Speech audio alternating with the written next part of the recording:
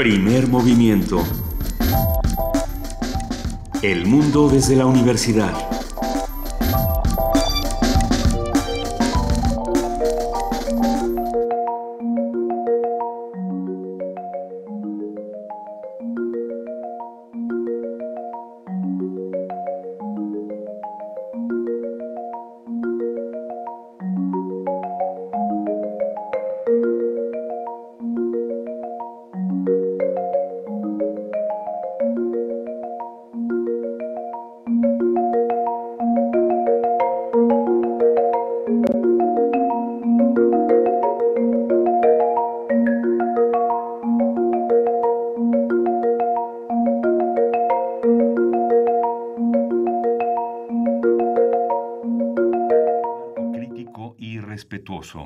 Los comentarios expresados a lo largo de su programación reflejan la opinión de quien los emite, mas no de la radiodifusora. Radio UNAM presenta Primer movimiento. El mundo desde la universidad. Más de 3.000 horas transmitidas. Gracias a ti, cuatro años al aire.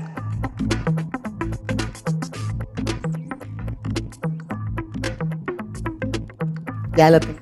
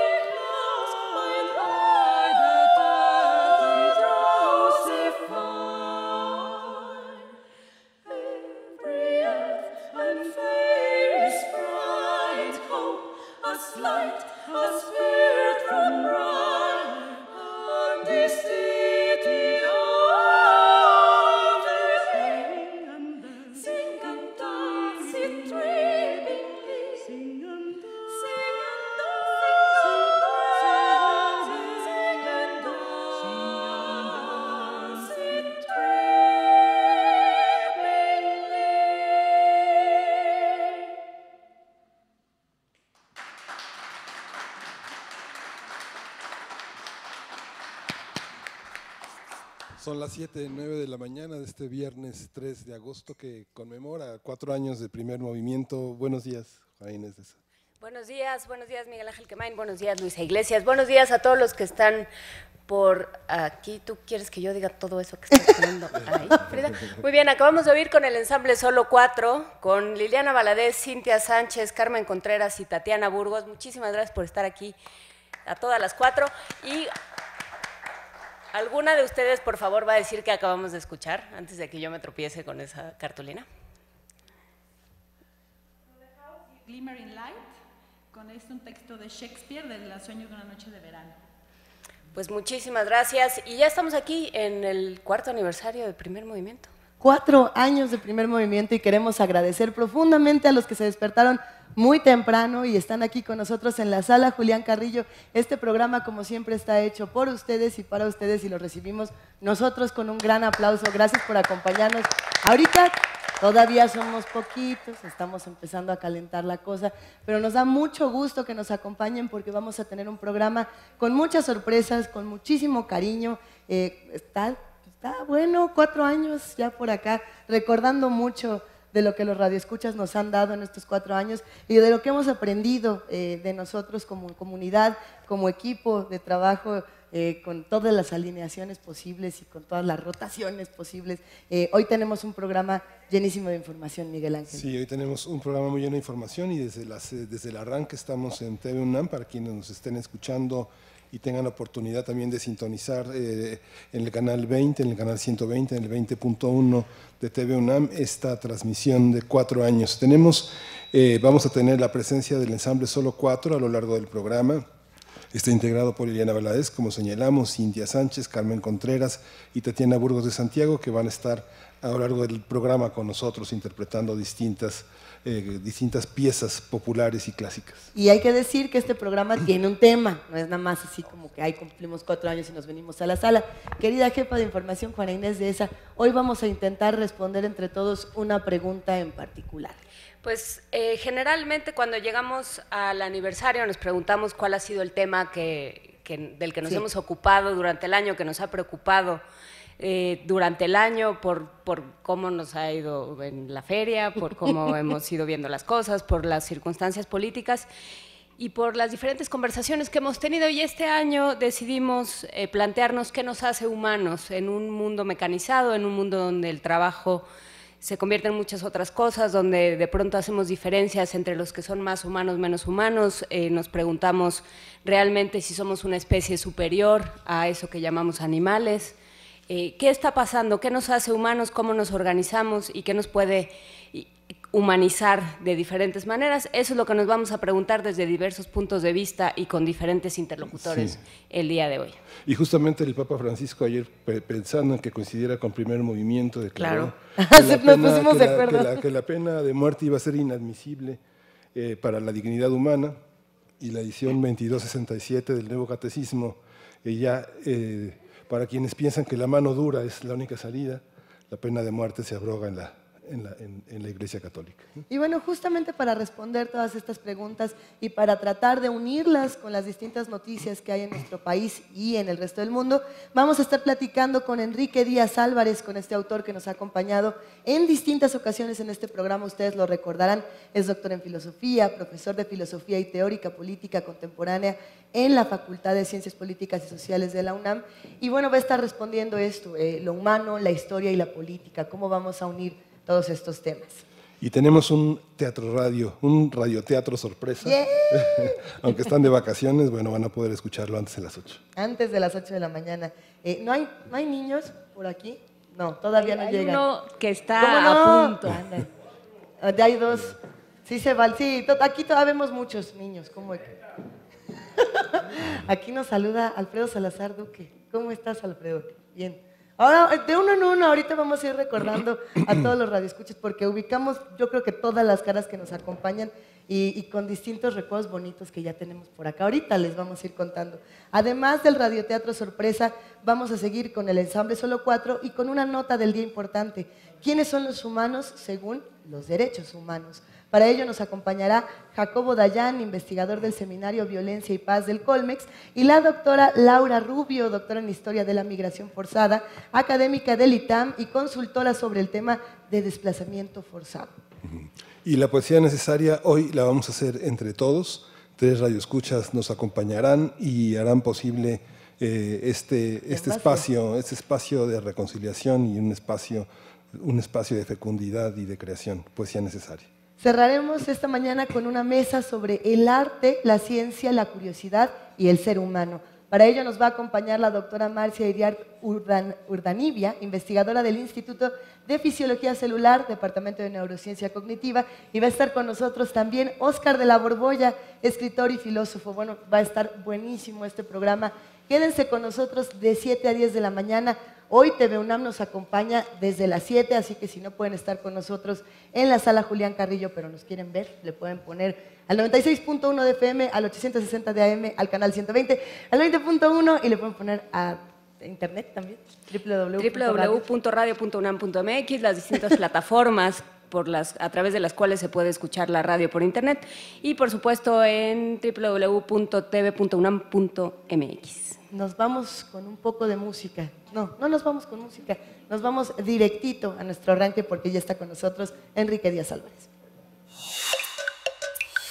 Cuatro años al aire gracias a ti. Primer movimiento. Hacemos comunidad. El lenguaje y el pensamiento abstracto son dos de las principales cualidades que distinguen al ser humano del resto de los animales, además de la capacidad y necesidad de asociación que hacen que para el humano sea biológicamente imposible vivir fuera de la sociedad. Todos los asuntos que implican la actividad humana están relacionados con la política, un principio que abarca todos los aspectos de la vida del hombre en sociedad. La actividad política es un quehacer orientado al bien común, es decir, se centra en atender las necesidades de toda sociedad. Vamos a conversar sobre esta cambiante noción de lo humano durante la historia, así como de la política como actividad humana. Está con nosotros Enrique Díaz Álvarez, él es escritor, es doctor en filosofía, profesor de filosofía y teoría política contemporánea en la Facultad de Ciencias Políticas y Sociales de la UNAM. Bienvenido, Enrique Díaz. Hola, buenos días y felicidades. Gracias. Nos, nos volvemos a encontrar, querido Enrique. Y en teatro, y muy temprano. ¿Cómo estás? En serio, felicidades. A ver, cuéntanos. eh, empezamos hablando de lo humano, la historia de la política. Eh, ¿Qué define a lo humano según la, la teoría política? Pues, Cuando se pregunta eso siempre nos vamos como a los griegos, ¿no? Y Aristóteles, a la famosa este, definición de son politikon de Aristóteles como ser humano como un animal político, un animal social, ¿no? Desde, ese, desde el libro 1 de la política ya decía Aristóteles que lo que nos diferencia a los seres humanos de los restos de los animales es justamente el lenguaje, la palabra, ¿no? Decía, a diferencia de las abejas y otros animales gregarios, justamente el hombre es el único que puede ¿Por qué? Ay, Sí, estás teniendo un pequeñísimo problema con el micrófono, creo que hay que hacer. Rafa Alvarado, para atrás. sálvanos, Rafa. Es que estamos acá, completamente en vivo y eso nos da muchísimo gusto. Si pensar en el lenguaje como esto que nos diferencia de los otros, digamos, Ay, seres no, o de los animales no humanos, también nos, nos pone a pensar, yo creo, Enrique, que entendemos por lenguaje, pero eso sería... Pues mira, por ejemplo, este, ahí lo dice, ¿no? El- las abejas, los perros, cualquier animal que nos pensemos pueden emitir sonidos, pueden manifestar este, dolor, hambre, miedo, placer, este, pero los hombres, además de eso, tenemos la capacidad para discernir entre lo que está bien y está mal, en lo que es bueno y, y, este, y injusto.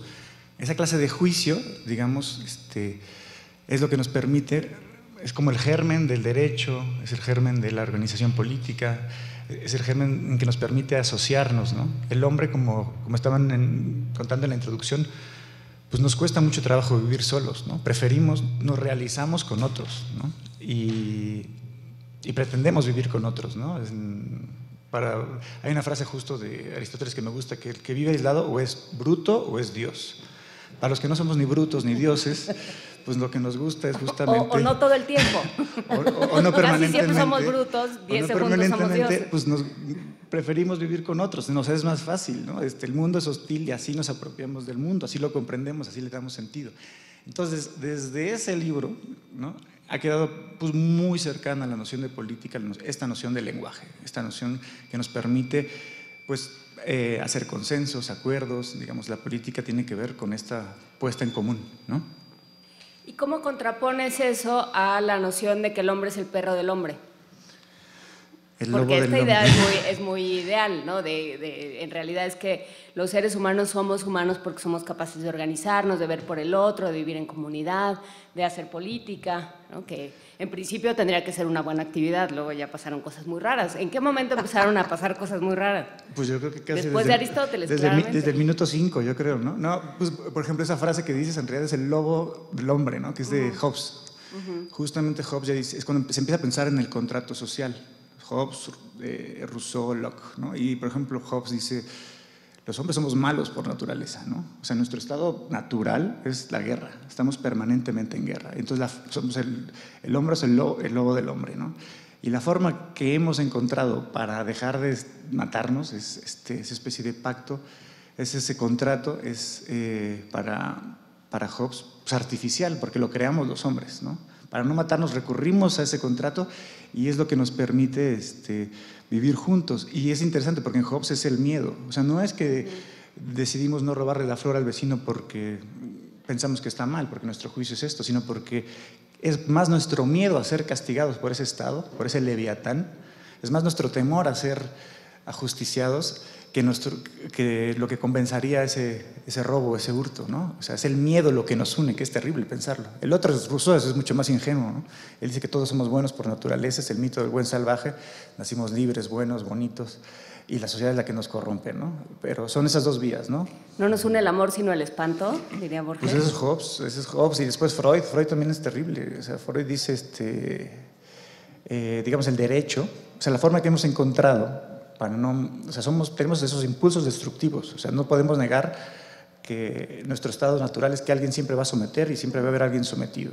Y la forma que nos encontramos, este, los, para resistir ese imperio del más fuerte, del más grandote, es el derecho. Y el derecho justamente, digamos, es como la respuesta que tenemos los débiles ante la fuerza del grandote, ¿no? Este, es el poder de la comunidad.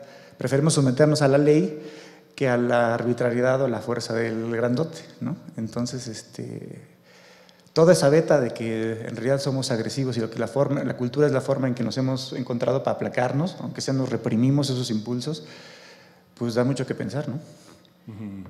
Hay una, hay una cosa, bueno, yo siempre traigo a la colación el informe de Brody porque me parece un, un texto extraordinario sobre la naturaleza bestial de los seres humanos y varias cosas que señala Borges es la idea del tiempo, ¿no? Por ejemplo, esto que señalas como emociones primordiales, como el miedo, ¿no?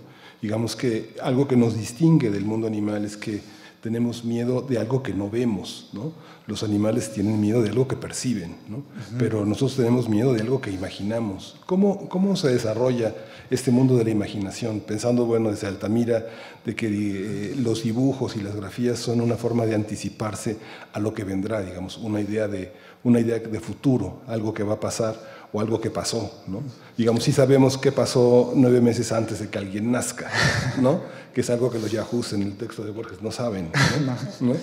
El, eh, es que, claro, estas preguntas a las 7 de la mañana, de qué, nos hace, qué nos hace humanos, estaba pensando, ¿no? Para- creo que para Homero el, el hombre es el, ser, el- el animal que come pan, para alguien es el que se pone lentes, otro es el, que, el, el ser que entierra a sus muertos, ¿no? O sea, pero, por ejemplo, a mí me gusta mucho esto, ¿no? El, el ser que imagina, ¿no? Por ejemplo, para Nietzsche también es el ser que promete. Ningún animal promete, se promete futuro.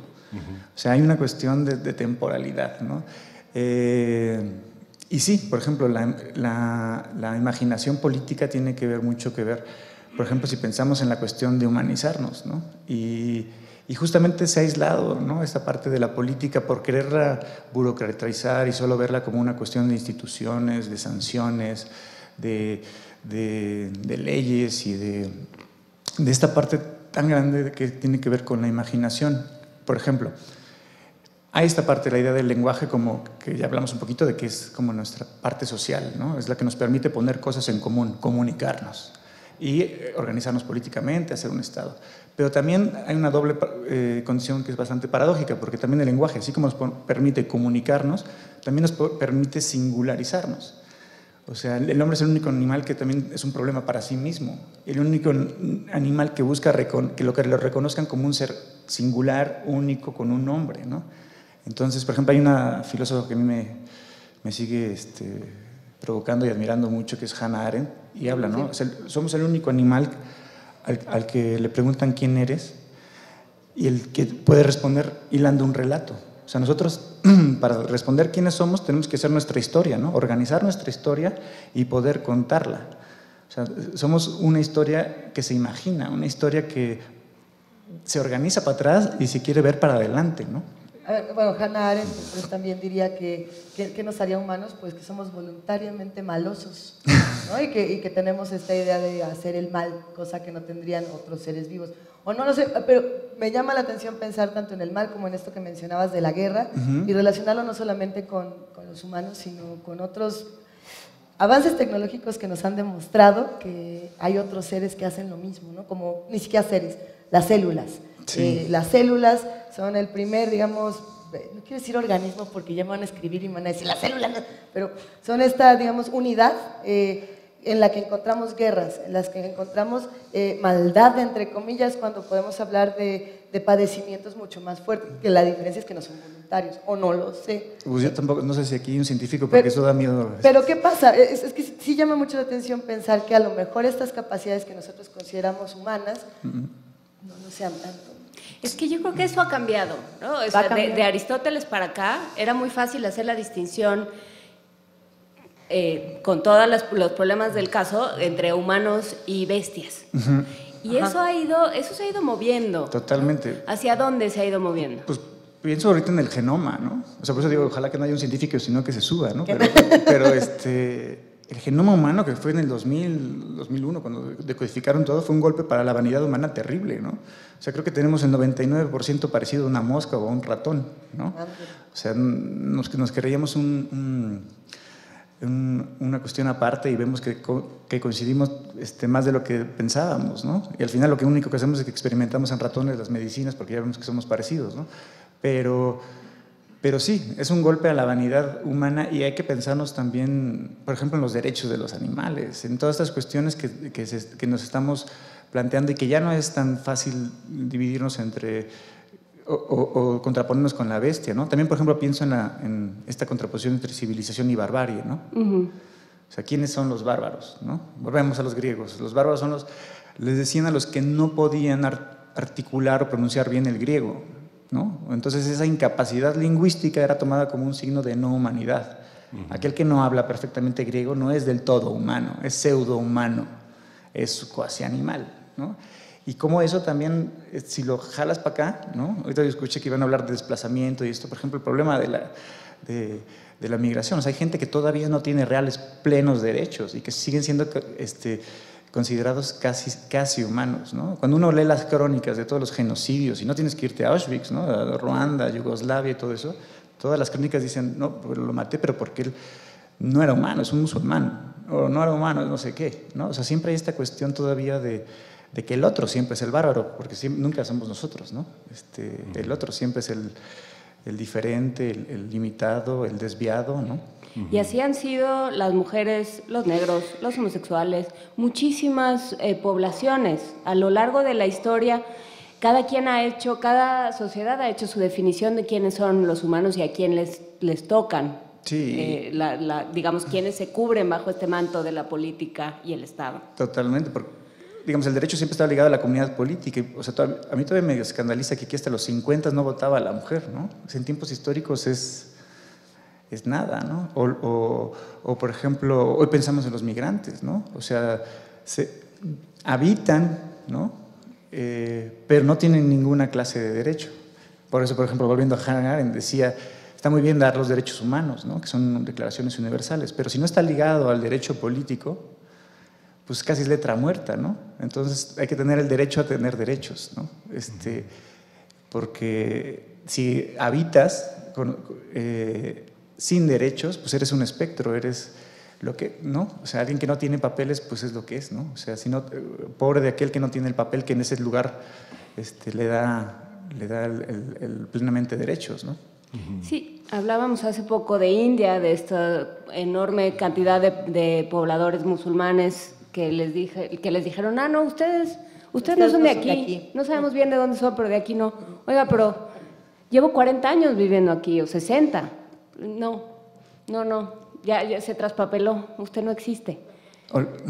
Y así con los rohingyas en Myanmar y así con los centroamericanos aquí. No, y ¿tú con los niños es? de Trump que los meten, ¿no? O sea, ¿no? O sea, también hay que luego entrar quién es un migrante y quién no es un migrante, ¿no? Si le rascas, todos tenemos algo de, de migrantes, ¿no? Y, y- pero sí, esta cuestión de distanciarnos del otro, lo que tendremos que pensar es justamente entonces cómo nos humanizamos en todo caso, ¿no? O sea, qué herramientas hay para humanizarse, ¿no? Y cuáles, y, y- y por eso ahí, por ejemplo, yo sigo creyendo un poco en el, en- me asusta un poco la, la- la- la situación en la que están las, las humanidades, incluso en, en- en la educación pública, ¿no? O sea, hoy en día es como una tragedia que tu hijo te anuncie que va a estudiar este, letras inglesas o, este, o historia, ¿no? Se, se vive como una tragedia familiar terrible, ¿no? Y, y- y así nos va. ¿no? Así nos va. ¿Por qué? Porque, entre otras cosas, las, las humanidades nos dan el pensamiento crítico. O sea, una democracia sin personas eh, este, que levanten la guardia ante la injusticia, ante la desigualdad, pues no es democracia, es otra cosa. Y, y estamos preparando, y, y aquí, pues, en una casa como esta, en la UNAM, pues lo que, lo que necesitamos es prepararnos este, para eso. O sea, hay todas universidades que pueden ser negocio y que, y que estás preparando trabajadores o futuros empleados de las, de las fábricas. Nosotros no. ¿No? O quiero creer que no. Entonces esto, de ahí que en, una, una, en un radio a las 7 de la mañana estemos hablando de estos temas que seguro que no hay ninguna otra radio que ahorita esté hablando de Aristóteles. Sí, de, de- de- de- de- de manera indirecta todos hablan de Aristóteles. ¿no? Ah, qué bonito. Pero, pero hay, una, hay una parte, yo cuando estudié la primaria, hacia el final de la primaria decían que había dos clases de hombres, los que se quedaban quietos y los que mantenían su tránsito. ¿no? Y en México todavía y en el mundo hay muchas, muchos lugares que se establecen a partir de la convergencia de las personas que se reúnen para intercambiar bienes o para hacer comercio. ¿no? Muchas ciudades de la antigüedad que se levantaron en esta idea imaginaria porque a, esa- a ese- punto iban muchos hombres que traían muchas cosas cargando para, para intercambiarlas. Pero también hay otra, otra parte que implica desde, prácticamente desde el inicio de la Edad Media la construcción de ciudades, lugares donde podemos vivir todos, lugares de una enorme estabilidad. Pero curiosamente esos lugares de mayor estabilidad, no sé, París del siglo XVIII, este, la ciudad de la Nueva España, este, son lugares donde justamente llegan los que no tienen un lugar. ¿no? Justamente la ciudad donde se puede vivir es la ciudad de la, son las ciudades de la transhumancia. Esta ciudad tiene una población flotante enorme, como una ciudad sin una infraestructura como Tijuana, por ejemplo, que es la ciudad de lo volátil. ¿no? ¿Cómo se da esta, esta, esta parte entre quienes están de paso y quienes eh, se quedan? ¿Qué, qué, qué características del humano tendrán esas formas de estabilidad e inestabilidad? Pues para empezar, el resto de la ciudad que dices es como muy importante, porque el origen de política justamente es polis, ¿no? La ciudad. Y ya volvemos a los mismos, ¿no? si quieren, volvemos a Aristóteles. Y es justamente, ella decía, las ciudades no pueden estar creadas por personas semejantes. O sea, la ciudad implica per se diferencia, de semejanza. Si hablamos de, si no, sería un clan, sería una familia, sería lo que sea, pero una ciudad ya implica ese lugar donde los extraños convivi- conviven permanentemente, digamos, ¿no? Entonces ahí ya hay diferencias, ahí ya hay conflicto, ahí ya es complejo y por eso ahí se necesita el arte de la política, llegar a acuerdos. Y eso se ha ido complejizando cada vez más, ¿no? Yo creo que desde hace unos 10 años ya se, en estas cosas que hace la ONU, ya, ya sabemos que más de la mitad de la población vive en centros urbanos y, la ciudad, y va para más, ¿no? O sea, los procesos de urbanización van para más. Y, por ejemplo, esto de los que viven o los que están de paso o los que habitan, bueno, pues es, eh, es un tema que es eh, justamente pues, muy polémico hoy. Eh, íbamos, lo que estábamos hablando, ¿no? Un poco de lo que tenemos que imaginar es pensar cómo damos derechos por el hecho de residir, quizás no de nacer. O estamos, siempre estamos como muy atrás. Yo espero que algún día también nos avergüence que, así como nos avergüenza que las mujeres no votaron hasta los 50, que nos avergüenza que los migrantes eran espectros, ¿no? O, o que se encerraban niños en un centro de detención porque, aunque habían nacido allá, ¿no? Este, son cosas que son totalmente contradictorias con, con una idea de civilización, ¿no? Y que justamente, curiosamente, se dan en países civilizados. Cuando vemos las redadas a migrantes, son en países que supuestamente son cuna de la ilustración, donde se escribieron los tratados de tolerancia, ¿no? Entonces, ahí vamos atrás. Es pensar cómo ponemos en la altura justamente para estar a la altura del desplazamiento, del tránsito, porque, porque en esta ciudad, si le rascamos, o sea, muy pocos nacieron aquí más, o sea, en generaciones pasadas. Todo el mundo tiene un padre por ahí que, eh, la madre que, que, que llegamos acá, ¿no? Entonces, este, en el fondo todos somos migrantes. Mientras estábamos eh, discutiendo cómo abordar el tema de lo humano, eh, estaba yo buscando algunos textos y me encontré con uno que al ratito lo voy a compartir porque no lo estoy encontrando en el teléfono, que se preguntaba justamente qué nos hace humanos, si el arte y, la, y el conocimiento o la violencia y el control y el asesinato, era para- particularmente iba hacia allá. Y decía algo así como, eh, los animales pueden crear arte, porque nosotros encontramos arte en lo que ellos hacen y podemos colgar en nuestra sala este bellísimo cuadro hecho con eh, las patas de un eh, jabalí que corría por la selva de no sé dónde. Y podemos también matarlo y comérnoslo y decir qué rico estuvo y cocinarlo como a nosotros nos gusta, o podemos matar mujeres por el simple hecho de ser mujeres, o podemos matar niños, o podemos matar hombres, o podemos, etcétera. ¿Qué pasa? Que en esta discusión entre lo bello y, y lo grotesco, entre el arte y la violencia, ¿dónde está lo humano? ¿Dónde se queda lo humano? Pues probablemente en las dos cosas, ¿no? También pa- dos parte del declive, o sea, así como criticamos que sí hay, digamos, un abandono y un menosprecio, un desprecio de las humanidades, quizá también, digamos, el humanismo clásico también pues, fue muy ingenuo, muy, este, muy limitado, con un canon ahí muy occidental y que tampoco se aplica, digamos, no, no- tampoco se ajustó al tiempo, ¿no? Y, y lo pienso porque tampoco es ingenuo pensar que solo eh, el leer nos hace automáticamente mejores personas, ¿no? O sea, hay montones de crímenes cometidos por este, hombres sádicos con bibliotecas de pasta dura enormes, ¿no? O sea, que escuchaba, mientras planeaban aniquilaciones escuchando la ópera, ¿no? O sea, no, no, no nos garantiza nada. Ahora bien, yo sí que todavía quiero pensar, creo, que, que sí es un medio el arte y la cultura todavía para sensibilizarnos, para, si queremos pensar en cómo nos humanizamos, porque si, si- si partimos de que nuestra naturaleza con Freud y Hobbes es violenta, eh, pues si queremos aspirar a la compasión, a la comprensión, a la empatía, pues yo todavía creo que la cultura y la imaginación todavía es un muy buen medio para ponerse en el lugar del otro. ¿no? Y, la- y ayer tuve oportunidad de conversar con un médico que es especialista en geriatría. ¿no? Y los viejos, bueno, son un terreno de invisibilidad en una sociedad como la que vivimos. Y comentaba que había dos mecanismos de evaluación que me parecían muy interesantes para no dejar de ser humanos. ¿no? Uno es la memoria, evaluar la condición de la memoria, y evaluar el estado de ánimo, tener ganas de continuar. ¿no? La vejez, eh, ¿qué, le debemos ¿qué le debemos a la vejez? Cómo dejamos envejecer a los que amamos y cómo los que van envejeciendo se van apartando de esta comunidad de humanos. Pues otro, otro ejemplo de cómo no- de nuestra crisis de criterio, ¿no? O sea, en muchas sociedades las- las- la palabra del anciano era palabra que debía ser escuchada, ¿no? Que era una cuestión ligada a la experiencia, al conocimiento, y eso también está cada vez más en desuso en la sociedad de la interdependencia, de la hiperconexión. Nadie quiere escuchar al abuelo, ¿no? Es como el abuelo Simpson, ¿no? Este, eh, Antes estábamos en onda. y eso también te va a pasar a ti. Nos vamos a despedir de esta conversación, querido Enrique Díaz Álvarez. Es un verdadero placer que nos acompañes en estos cuatro años de primer movimiento. Y lanzamos esta pregunta, ¿qué nos hace humanos? A todos los que nos escuchan, a todos los que nos ven, a todos los que nos acompañan en esta sala. Eh, gracias. no, gracias a ustedes. Muchísimas gracias.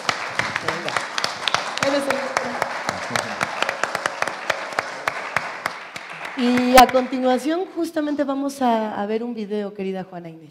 Vamos a ver un video, en efecto, que se llevó a cabo en 2015. La Asociación Mexicana de Artistas y Profesionales del Cine y el Audiovisual hicieron un corto documental de Radio UNAM y el nuevo primer movimiento, entonces era nuevo. Dirigió Adrián Payares, lo produjo Frida Saldívar. Vamos a ver la versión corta, va a entrar para que eh, va a entrar ya el video. Lo oímos por radio, lo vemos por la tele. ¿Es importante para un sonido que alguien lo escuche?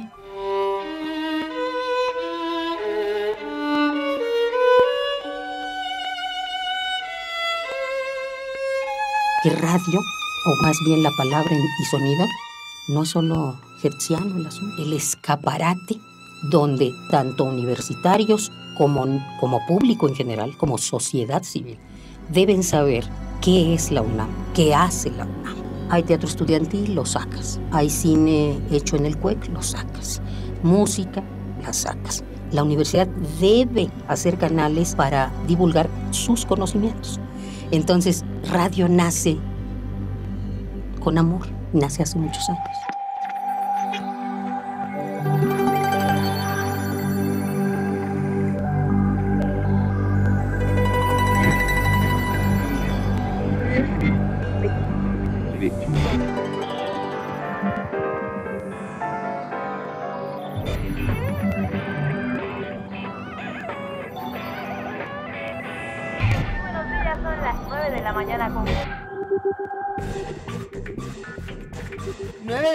Mañana con 43 minutos en primer movimiento. Seguimos celebrando que usted nos está escuchando en casa. Rodrigo Alcaino, un saludo, nos escucha desde Santiago de Chile. Qué bueno saber que llegamos hasta allá. Es un verdadero placer. Por grandes cineastas, por grandes narradores, literatos. Bueno, el chiste es buscar qué nos gusta también de la tele, así como qué nos gusta de los libros, qué nos gusta de la tele, qué nos gusta del cine. ¿Cuántos tipos de guitarras conocemos? Guitarras hay de a montón y aquí se exponen estas guitarras en la sala Julián Carrillo para que conozcan un poquito que, a ver, el ukulele, el- bueno, ma- mañana empieza esa exposición. Gente del Centro Cultural Universitario Tlatelolco, de la Dirección General de Divulgación de la Ciencia. Necesitamos para hacer radio pública, radio universitaria, que ustedes nos ayuden. Por esto, a todos los compañeros que desde aquí trabajan para que esta emisión salga todos los días al aire. Nuestro querido equipo de producción, el equipo de información, redes sociales, los ingenieros en cabina, todos los que hacen posible que nuestra voz sea la voz de todos ustedes.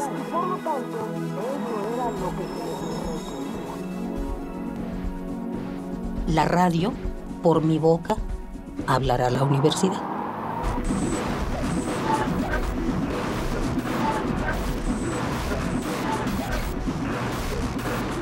Mañanas son muy aceleradas porque estamos en una emisión en vivo que dura tres horas, una emisión donde debemos coordinar toda la parte de la producción, meter cosas grabadas, hacer llamadas para los invitados. Y el gusto por la radio lo traigo desde niño. Yo tuve la curiosidad de, de ver cómo se hacía la radio, tanto los técnicos, los ingenieros, como la parte de producción. Y bueno, tuve la suerte de trabajar aquí en la universidad y la verdad pues, es un placer hacer radio cultural. Y algo que también es bien importante es saber que la radio es un trabajo en equipo. Eso no solamente lo hacen los conductores, el operador o la gente que estamos en el equipo de producción, sino que también lo hacen las personas que están en la entrada y que nos están apoyando con las entradas y salidas de nuestros invitados, la persona que tempranito sube nos pone el café para que nuestros conductores despierten con su taza de café bien calientito, la persona que limpia para que podamos entrar a un lugar que esté lindo, que huela bien. Todas las personas, todos los directivos, todos hacemos radio. El trabajo es en equipo y esto es en beneficio de una cita amorosa afortunadísima que es con el que no conocemos, con el radio escucha.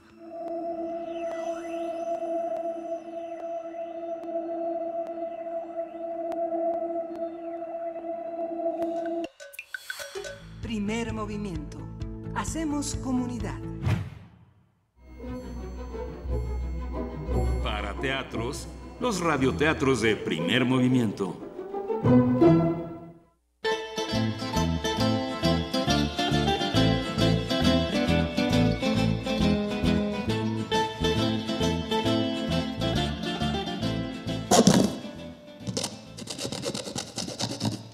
Pinocho el Astuto, cuento con tres finales de Gianni Rodari.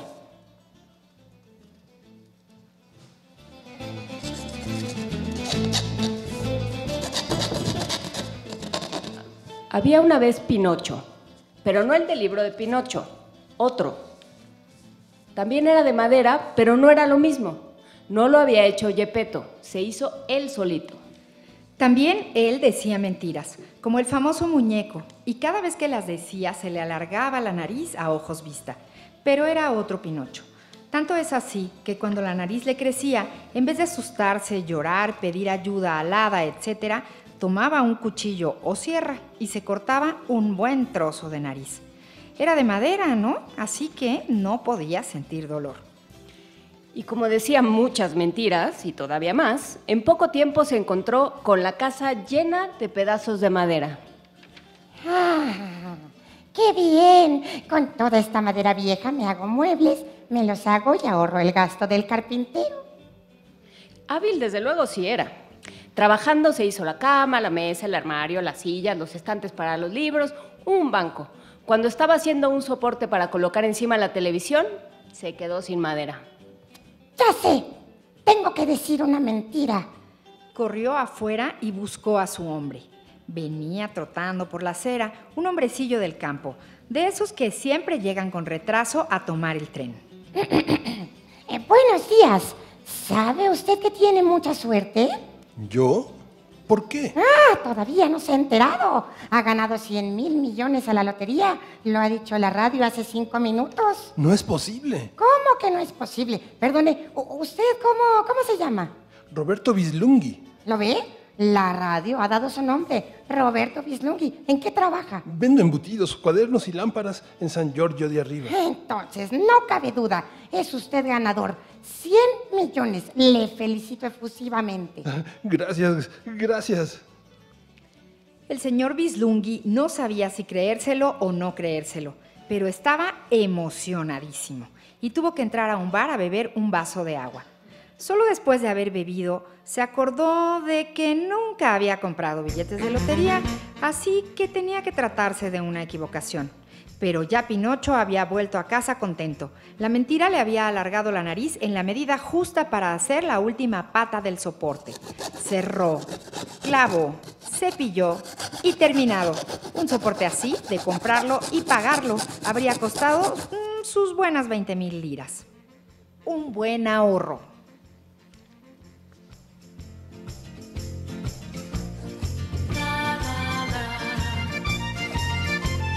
Cuando terminó de arreglar la casa, decidió dedicarse al comercio. Ay, hijo, venderé madera y me haré rico. Y en efecto, era tan rápido para decir mentiras que en poco tiempo era dueño de un gran almacén con 100 obreros trabajando y 12 contables haciendo las cuentas. Se compró cuatro automóviles y dos autovías. Las autovías no le servían para ir de paseo, sino para transportar la madera. La enviaba incluso al extranjero, a Francia y a Burlandia.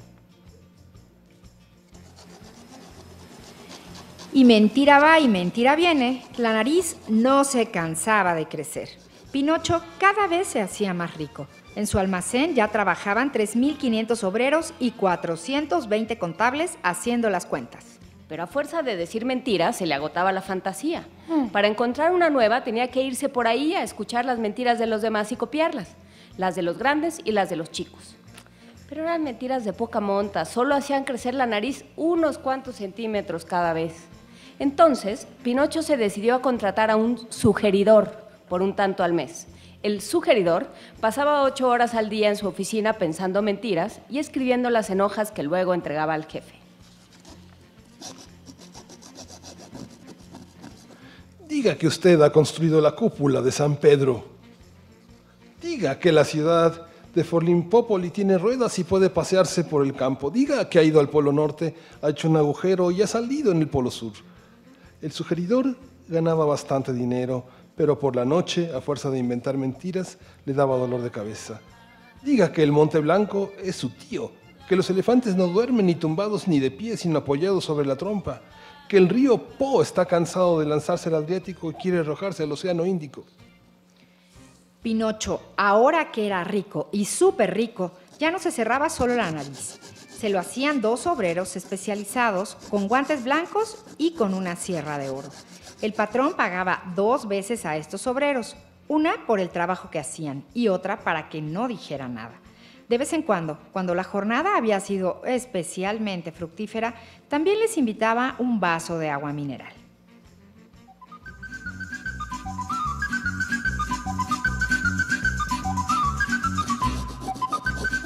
Primer final. Pinocho cada día enriquecía más, pero no crean que era avaro. Por ejemplo, al sugeridor le hacía algunos regalitos, una pastilla de menta, una barrita de regaliz, un sello del Senegal.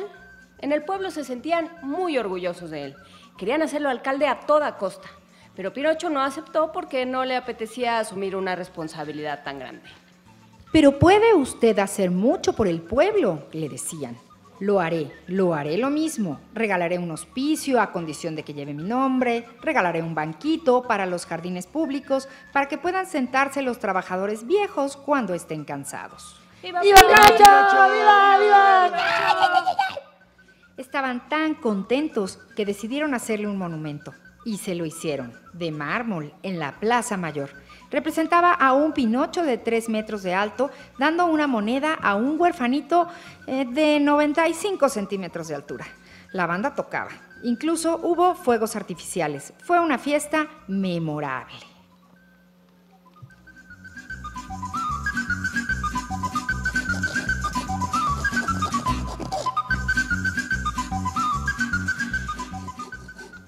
Segundo final. Pinocho se enriquecía más cada día y cuanto más se enriquecía, más avaro se hacía. El sugeridor, que se cansaba inventando nuevas mentiras, hacía algún tiempo que le pedía un aumento de sueldo. Pero él siempre encontraba una excusa para negárselo. ¿Qué, qué, qué? Usted enseguida habla de aumentos, claro, pero ayer me he inventado una mentira de cuarta. La nariz solo se me ha alargado 12 milímetros. 12 milímetros de madera no me dan ni para un picadientes. Tengo familia, ha subido el precio de las papas. Nada que ha bajado el precio de los bollos. ¿Por qué no compra bollos en lugar de papas? La cosa terminó en que el sugeridor empezó a odiar a su patrón. Y con el odio nació en él un deseo de venganza. Vas a saber quién soy, farfullaba entre dientes mientras garabateaba de mala gana las cuartillas cotidianas. Y así fue como, casi sin darse cuenta, escribió en una de esas hojas. El autor de las aventuras de Pinocho es Carlo Collodi. Pinocho, que en su vida había leído un libro, pensó que era una mentira más y la registró en la cabeza para soltársela al primero que llegara. Así fue como por primera vez en su vida y por pura ignorancia dijo la verdad. Y nada más decirla, toda la leña producida por sus mentiras se convirtió en polvo y serrín, y todas sus riquezas se volatilizaron como si se las hubiera llevado el viento. Y Pinocho se encontró pobre, en una vieja casa sin muebles, sin siquiera un pañuelo para enjugarse las lágrimas.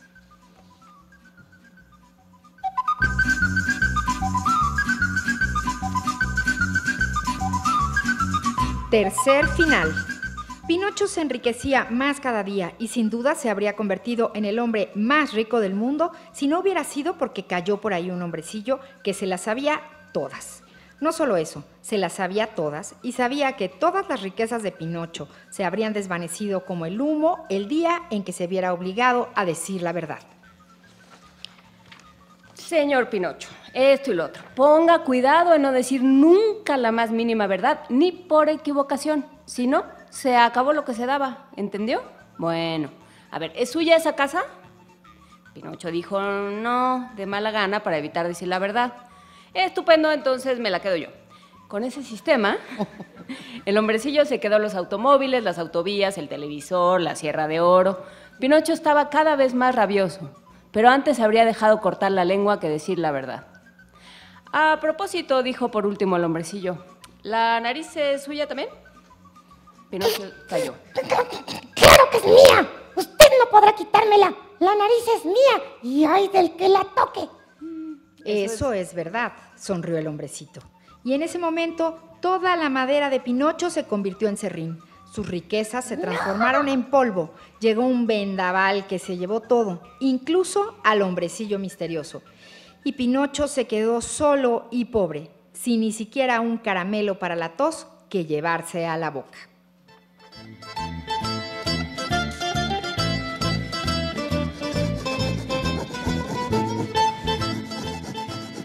Pinocho el astuto, cuento con tres finales de Gianni Rodari.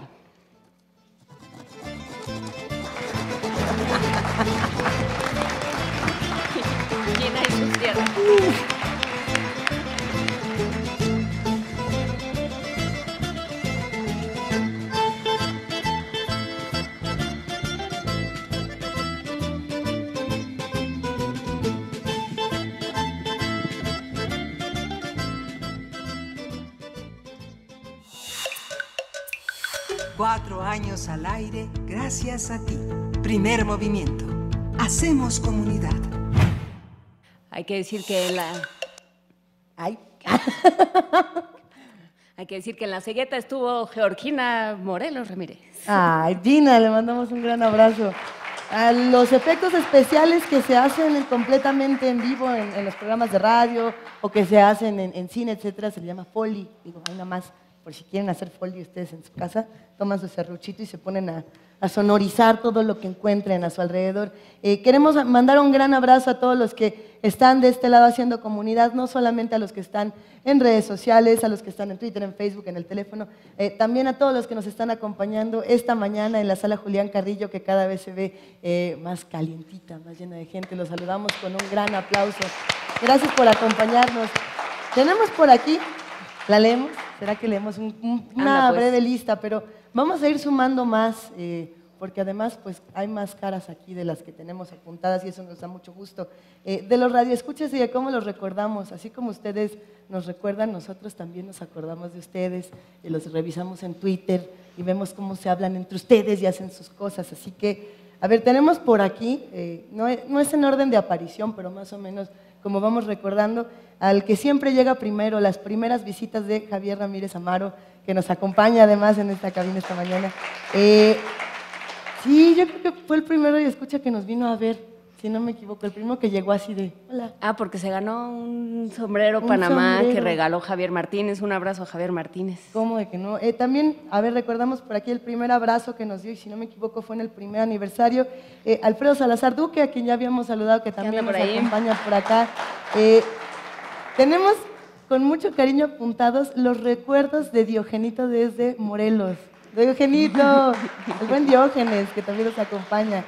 Eh, este nos da muchísimo gusto y, además nos llena de, admiración.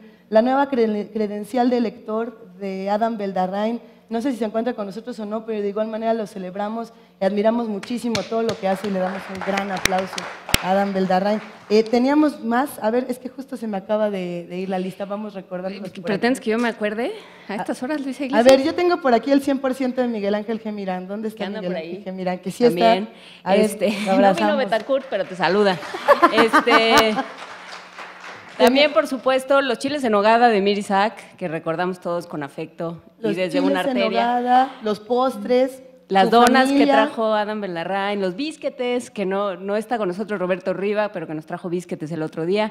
También, eh, por supuesto, el, el- cu- cuando tuvimos ese problema del cacomistle de Diogenito, No, el es de refrancito. Que se, que se comió a la coneja, fue una tragedia. ¿Alguien recuerda el cacomixcle de refrancito? Nosotros lo recordamos con muchísimo cariño. Que tuvo que intervenir hasta la REPSA, hasta la Hasta Reserva la Ecológica. Repsa. Fue una cosa muy compleja. La tortuga de Rosario Martínez, ¿no vino Rosario Martínez? No. Al ratito llega. Desde, desde Metepec. El rock de Adriana González, por supuesto, ah, perdón, de Andrea González. Andrea Andrea González, González. que ya nos saludó. También le mandamos un abrazote. Eh, yo creo que todas las recomendaciones y de pronto también los regaños y las cosas que nos dice Ike Tecuani, que también nos acompaña por acá y lo queremos y le damos un gran aplauso. Y mm, hoy no le vamos a mandar saludos a P, a Pablo Extinto, porque nunca le mandamos saludos, ¿verdad, Pablo Extinto? Ya te vimos. tal que le da? Hola, ¿cómo estás? ¿Quién más anda por ahí? Eh, tenemos muchos saludos más que ir compartiendo. Teníamos a Rosario Martínez, teníamos a Andrea González, tenemos más radioescuchas. Mayra Elizondo, eh, no sabemos si nos pudo acompañar el día de hoy o no, a ver si se da una vuelta. Pues yo creo que no, porque ya nos saludó en Twitter, entonces se me hace que no va a venir. yo creo que nada más mandó el Twitter de avanzada. Claudia Cárdenas trajo más bisquetes. Eh, bisquetes, para todos, pa- pa- ¿para todos? Por supuesto, Roberto Coria. Pues no sé, Los todos. murciélagos de Roberto Coria, ¿cómo de Sí. que no? Eh, un abrazote para Roberto Coria. Él no está por acá el día de hoy, eh, pero como ustedes saben, no solamente nos acompaña como radio escucha, sino como colaborador, ha sido de la misma manera que lo hace Francisco Rodríguez, mejor conocido como el primo Frank, a quien también le mandamos un, un abrazote. A Horacio Vives, por supuesto, a todos aquellos que se han sumado, por supuesto a toda la universidad que ha hecho posible desde el principio estas conversaciones, a la coordinación de difusión cultural en sus diferentes variantes. Hemos pasado por muchos rectores, por muchos coordinadores, por muchos funcionarios que siempre nos han apoyado. Muchísimas gracias a Anel Pérez, a Imelda Martorell, a todos los que desde el principio dijeron, pues quién sabe qué están haciendo, pero vamos a ayudarles. pero, ahí, pero ahí nos quedamos con ustedes. Cuatro años después, ¿qué recuerdan los que están haciendo comunidad con nosotros? Eh, vamos platicando, vamos escribiéndonos en arroba P, P Movimiento, diagonal primer movimiento UNAM y el teléfono 55 36 43 39. Y en el, por supuesto, en el correo electrónico, hoy no hay teléfonos, ¿o sí? No, no, hay teléfonos No, porque tendrían entonces no. que correr de un lado al otro del edificio y es un poco complicado. Pero, eh, por supuesto, hay correo electrónico tri- eh, y agradecemos eh, y los vimos a muchos en el, en el video, en, este, en esta versión corta del documental Primer Movimiento, Movimiento Radiofónico. Eh, ahí está Silvia Cruz, Oscar Guerra, Rafael Alvarado, que empezó en la coordinación de invitados de primer movimiento y ahora es, el, y ahora es parte del equipo de producción y de, em, de ingeniería de Radio UNAM. A Francisco Ángeles, no está por ahí, Paco pero le Ángeles, le mandamos un mandamos gran un gran abrazo a Paco, a todo el departamento de información de Radio UNAM, que bueno, pues ahora casi todos están en Prisma, salvo Toño Quijano que anda por ahí. Hola, Toño. Pero les mandamos un gran abrazo porque hicieron posible este espacio. A todos los que estuvieron con nosotros en Servicio Social, el Servicio Social es una parte importantísima de este programa, por lo que aprendemos unos de todos y por eh, pues el gran apoyo que brindan a Miguel Pérez, Ángel Romero, a Miguel Verde, a Tamara Quiroz, a Mayali Fernández, Patricia Palacios, Alejandro Maza, Valeria Paricio, Carmen Sumaya, Arturo Rojas, Tania Balandrán, Jorge Gómez. Jorge Gómez era el que no podía decir Lugansk y Donetsk, y le tocó la crisis de Ucrania al pobre. Itzel Naranjo, todos aquellos eh, se quedaron de distintas maneras, se quedan con nosotros. Muchísimas gracias a todos los que han hecho posible el primer movimiento. Nos vamos a la segunda hora. Venga. Ya llegó Carlos. Encuentra la música de primer movimiento día a día en el Spotify de Radio UNAM y agréganos a tus favoritos.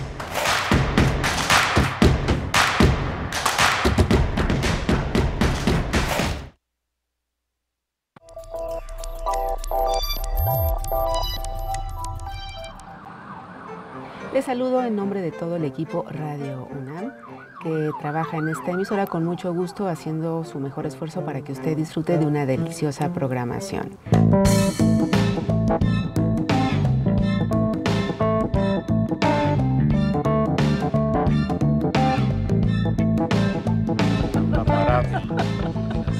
Para Francesco La radio es un lenguaje poderosísimo y es eh, un medio completamente abierto a la expresión de los, este, de los creadores. Aquí en esta estación se cuentan toda clase de historias todos los días. Existe un reino único y encantador, conocido como X-E-U-N. Gritan mucho, egocéntricos, demasiado, demasiado, basta ya. Al buen periodismo le hace falta sociedad que lo acompañe. Me interesa el futuro porque es donde vamos a pasar el resto de nuestras vidas. Por eso les estamos invitando al futuro que consta de tres horas en compañía de resistencia modulada. Tenemos libertad de decir cosas que no me imagino que podrían decirse en ninguna otra estación. Y me parece un espacio bastante necesario, tanto como para la comunidad universitaria, como para la comunidad juvenil en México en general. Joe Strummer, Angus, Chris, Nick, Bob, Crimson, Chuck sobre todas las cosas. ¡Ah! Manifiéstense, Ramones. Paren de marginar y disfruten la última transmisión de la primera temporada de Sin Margen. La radio es el medio de la imaginación y además es mi casa. Yo sí creo que todos los que nos dedicamos a la radio de una u otra manera nos transformamos en, en la misma radio y nos apoderamos, nos, nos aprendemos de ella con esta H intermedia que nos gusta. Y pues sí, es nuestra casa, es libertad, es mi radio. Radio UNAM, la voz de la universidad. Nuestra es la voz, de todos la palabra. Sigan con nosotros todo el día.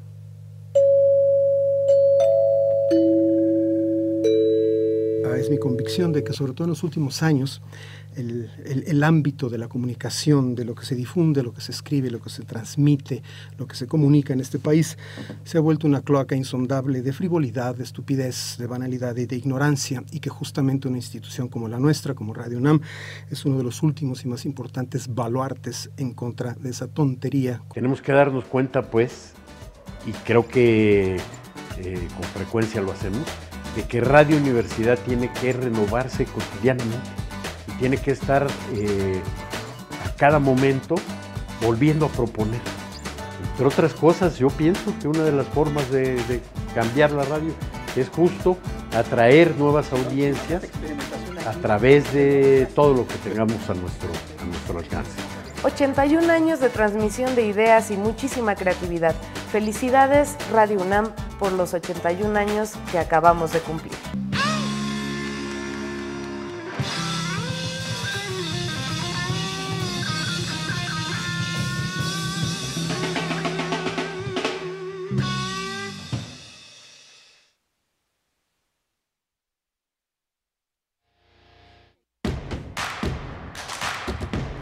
Síguenos en redes sociales. Encuéntranos en Facebook como Primer Movimiento y en Twitter como arroba PMovimiento. Hagamos comunidad.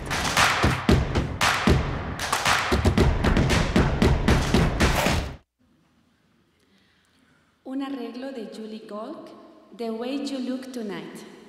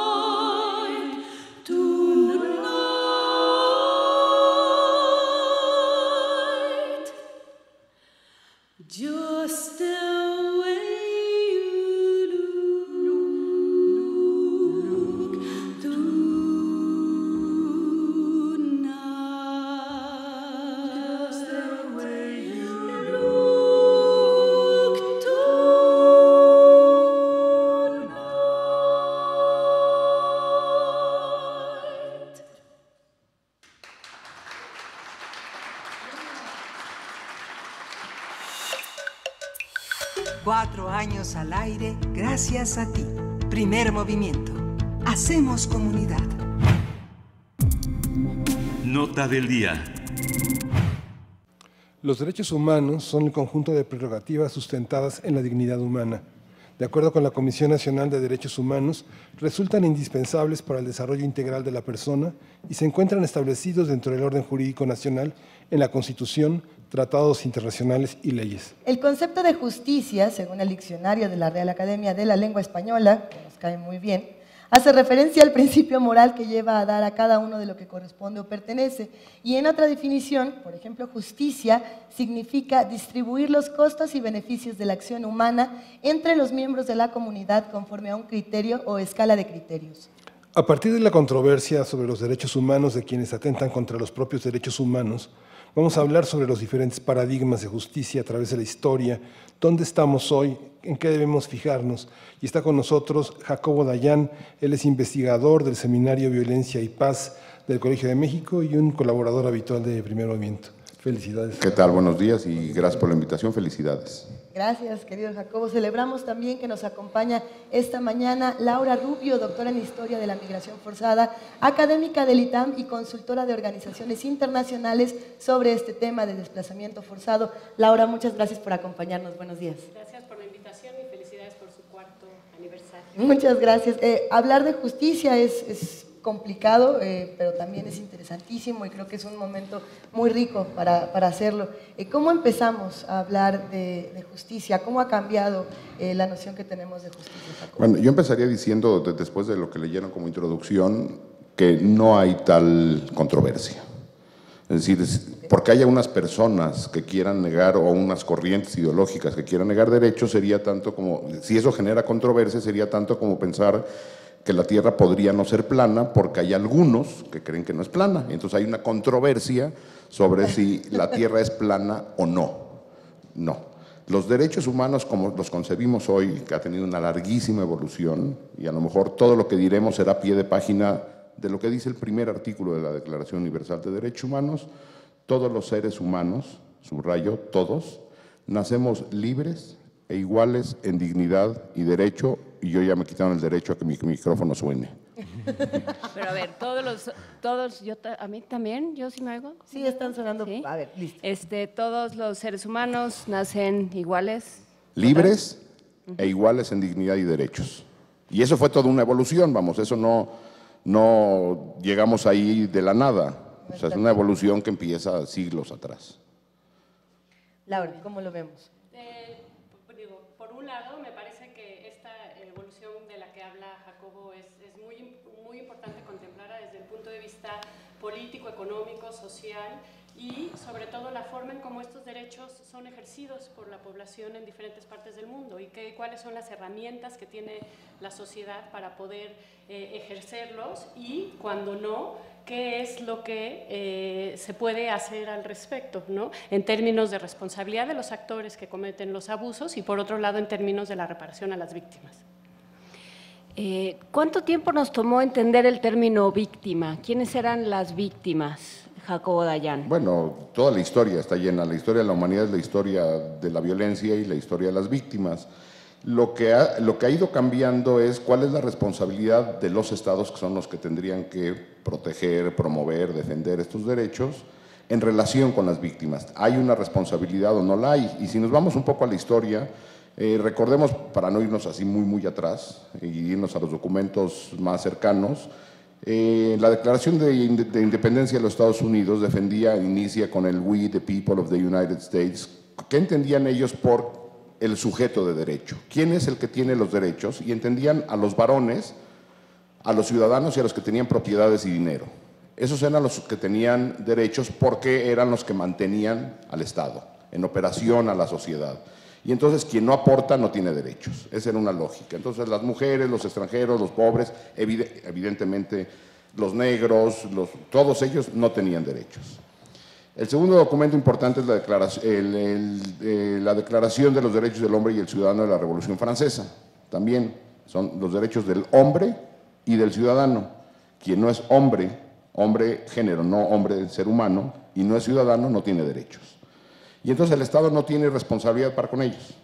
Entonces, esto ha sido una evolución, tuvo que llegar el horror de la Segunda Guerra Mundial para entender que todos los seres humanos somos sujetos de derechos, que somos iguales y que los estados tienen la obligación de respetarlos, promoverlos, defenderlos, aunque yo no sea ciudadano de ese lugar. O sea, si yo me voy de vacaciones a Honduras, tengo los mismos derechos. Podré no tener derecho a votar, por ejemplo, porque no soy hondureño, pero no pueden atentar contra mi vida, ni contra mi libertad, ni con- etcétera, etcétera. Eh, lo, que también resulta interesante es pensar en, por ejemplo, el momento en el que estamos eh, viviendo ahora, pensar en las crisis migratorias tanto de eh, Europa, cuando fue la crisis de la Unión Europea, como lo que se está viviendo ahora eh, de Latinoamérica para México, de México para Estados Unidos, etcétera, etcétera.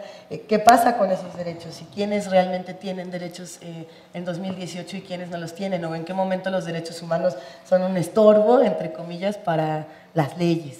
Laura. A mí me parece que en teoría eh, los derechos humanos son unos que tenemos tanto las, las aquellas personas que han sido víctimas de algún delito o algún crimen, pero también las mismas eh, personas que ejecutan o llevan a cabo esos, eh, esos crímenes. ¿no? Entonces, es y respecto de quién lleva a cabo qué acción que están o aplican esos derechos. Y de ahí que en esta evolución de justicia que, que se ha mencionado, se habla de una palabra que a mí me parece clave, que es el tema de discriminación. O sea, cómo se ejercen estos sin discriminación. Eh, no importa eh, la raza, religión, eh, el- este, elección de vida sexual, etcétera, etcétera, sino también de qué forma se aplica independientemente de los actos que, que- que uno cometa. ¿no? Ahora, esto me parece que tiene que, que tomarse también con mucho cuidado y de ahí a que hayan surgido dos tendencias.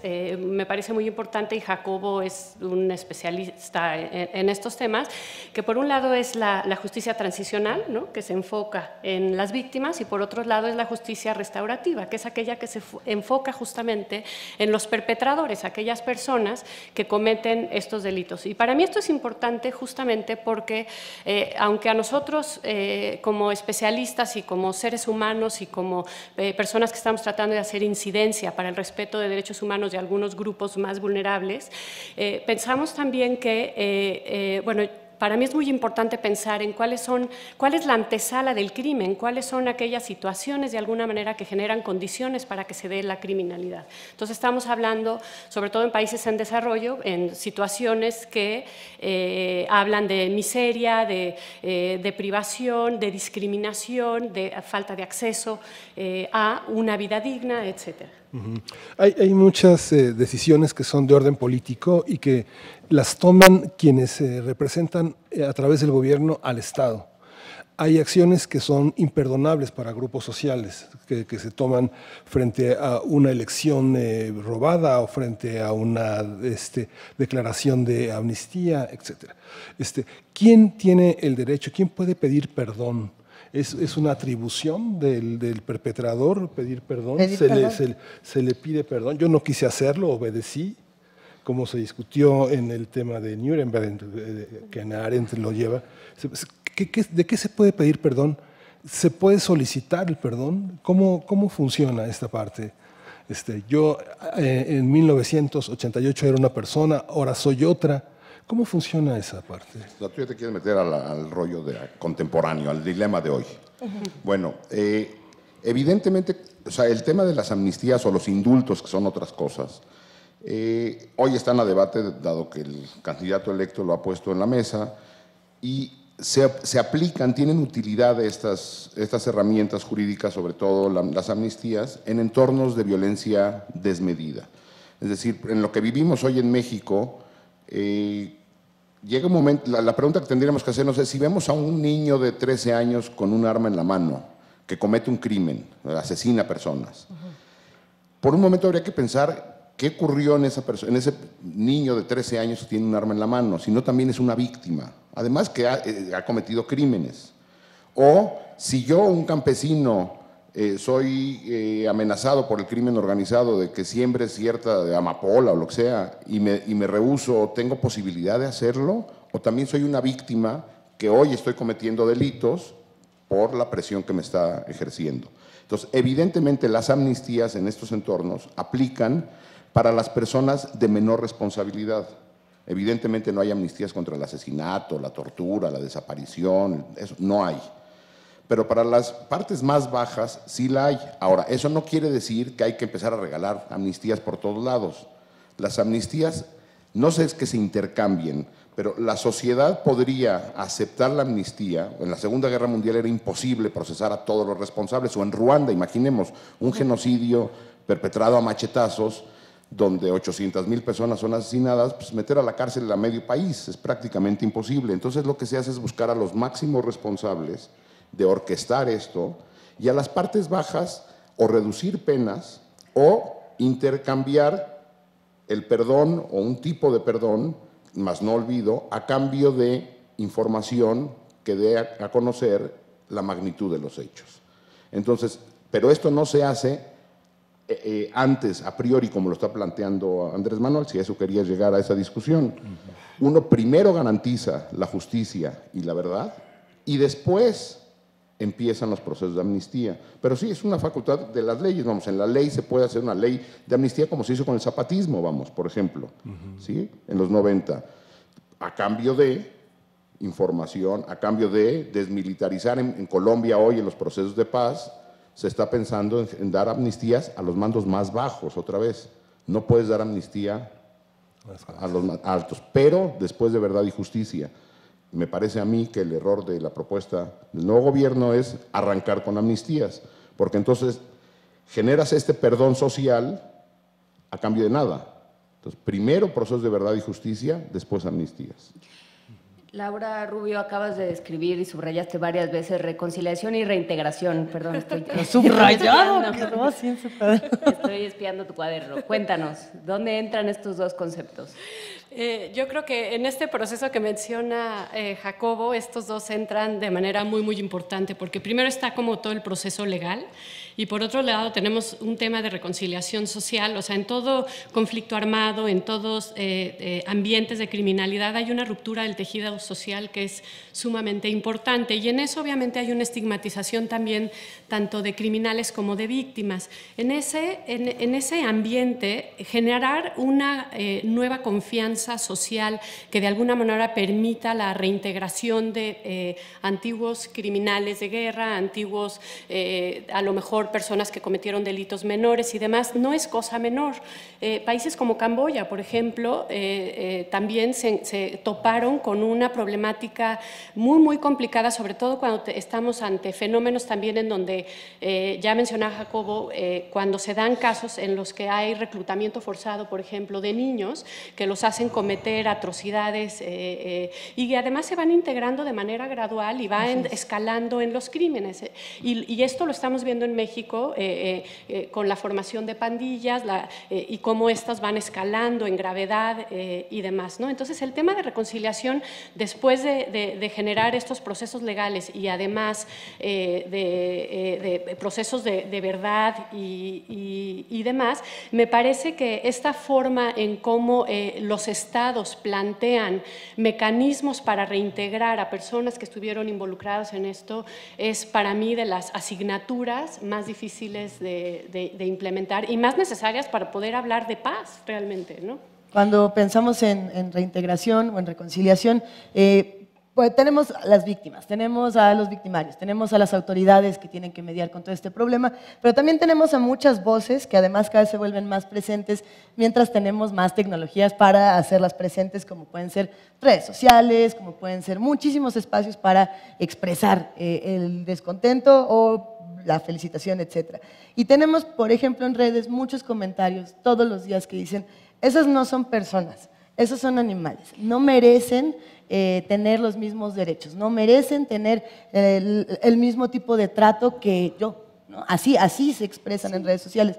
Es muy complejo porque los derechos humanos no están a discusión, pero... Sí, yo creo pero- que justo para allá iba, iba mi, mi siguiente comentario, porque si uno revisa, por ejemplo, estas notas sobre justicieros, sobre linchamientos, que por desgracia cada vez hay más, uno puede revisar y ver eh, la plataforma del, del nuevo gobierno austriaco o los húngaros con Víctor Orbán o eh, muchas de las discusiones que se han dado en Estados Unidos o en el mismo México. Y puede decir que mal, pero cuando entras a Twitter o a cualquier otra eh, plataforma, Plataforma. sociodigital, como dicen, como dice López Beneroni, que debemos de decir, eh, entras a cualquiera de estas, ves una nota de linchamiento y la respuesta es entusiasta y la respuesta es de felicitación y de ojalá no le hagan nada y no salgan con que hay que hacer justicia. Eso, eh, pues, dan ganas de apagar la luz e irse a su casa, ¿no? ¿O, Mira, o qué hacemos con A eso? ver, o sea, yo entiendo la frustración, vamos, todos entendemos la frustración, vivimos en un país donde la justicia no ha existido nunca. Entonces, en un caso de linchamiento, por ejemplo, lo que hay es una frustración social donde las autoridades no hacen su trabajo. Y entonces la sociedad fuente ovejuna toma el papel de, de- juez y verdugo, pero lo que tendríamos, si queremos eh, vivir en una sociedad civilizada, es, o de niveles reducidos de violencia, es que las autoridades hagan su trabajo. Si a mi abuelita la secuestran, yo no quiero que al secuestrador lo torturen y lo maten. Yo quiero saber quién fue el secuestrador y que se haga justicia, no venganza. O sea, no quiero que lo torturen. Yo no quiero que el Estado en mi nombre, porque el Estado actúa en nuestro nombre, nuestros representantes actúan en nuestro nombre, a mí no me parece que mi representante torture, asesine, desaparezca. Yo lo que necesito es, como víctima, como familiar de víctima de mi abuelita que secuestraron, es que se haga justicia. Entonces, si eso no llega, La frustración me, me lleva a que en redes sociales yo diga son animales y los de derechos humanos los andan defendiendo.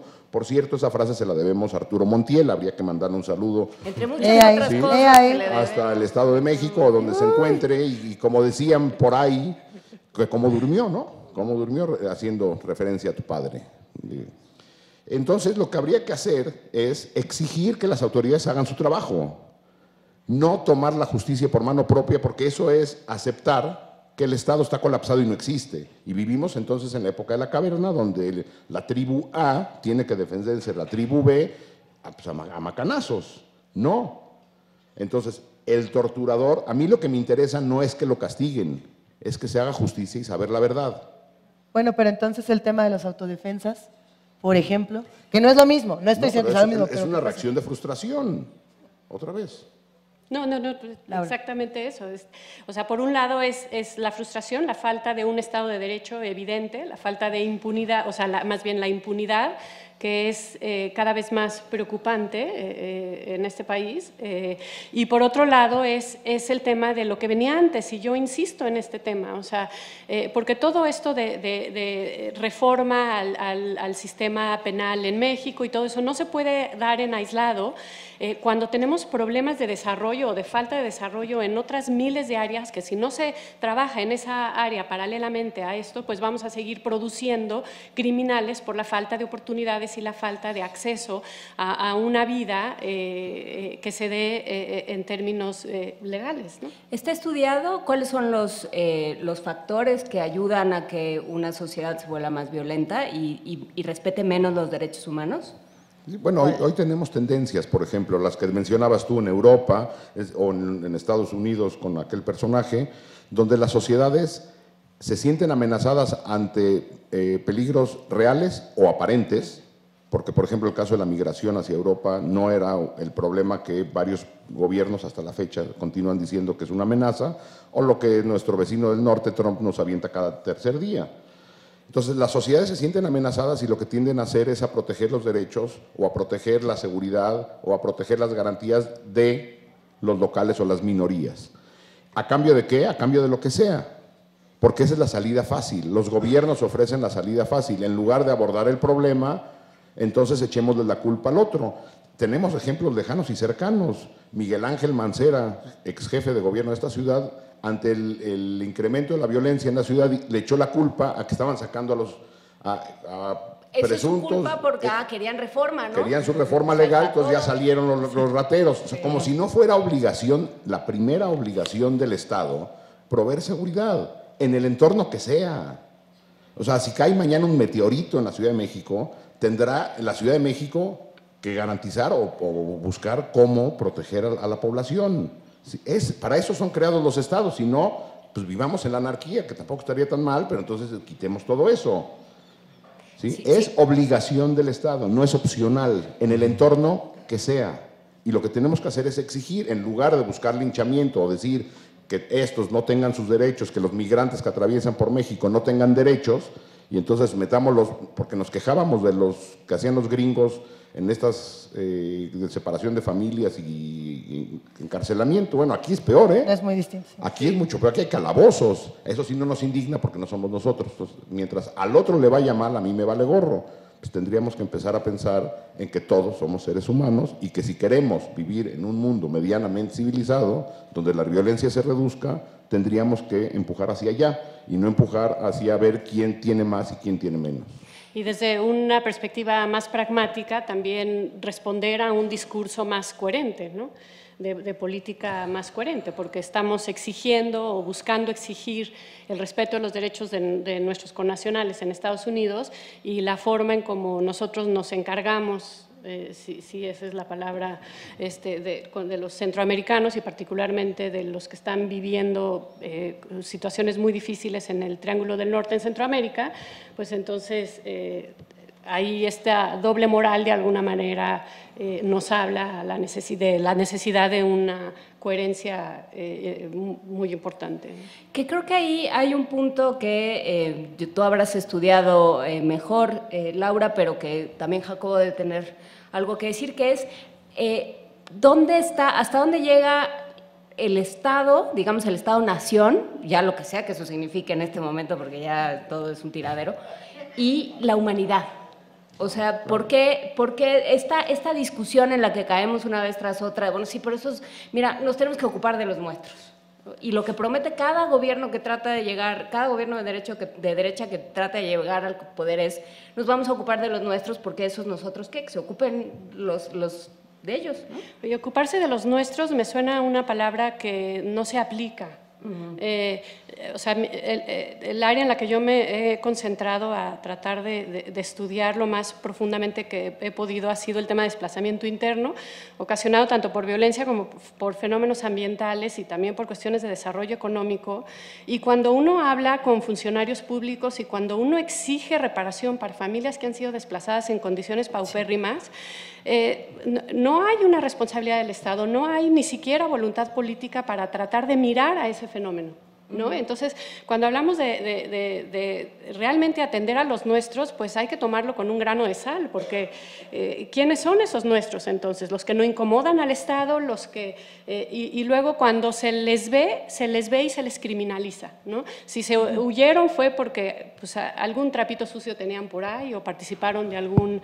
o eran parte de algún grupo criminal, etcétera, ¿no? Entonces, esta tendencia a criminalizar a los nuestros eh, de alguna manera también deslinda al Estado de cierta responsabilidad y eso me parece que es una eh, manifestación de inmadurez política y de, y de, eh, que, que no, todavía no logramos como sociedad tener o desarrollar los las herramientas y, las mecanismos, y los mecanismos para tomar conciencia y responsabilidad como, a nivel internacional, entiendo también la pregunta de quién debe responder ante la violencia.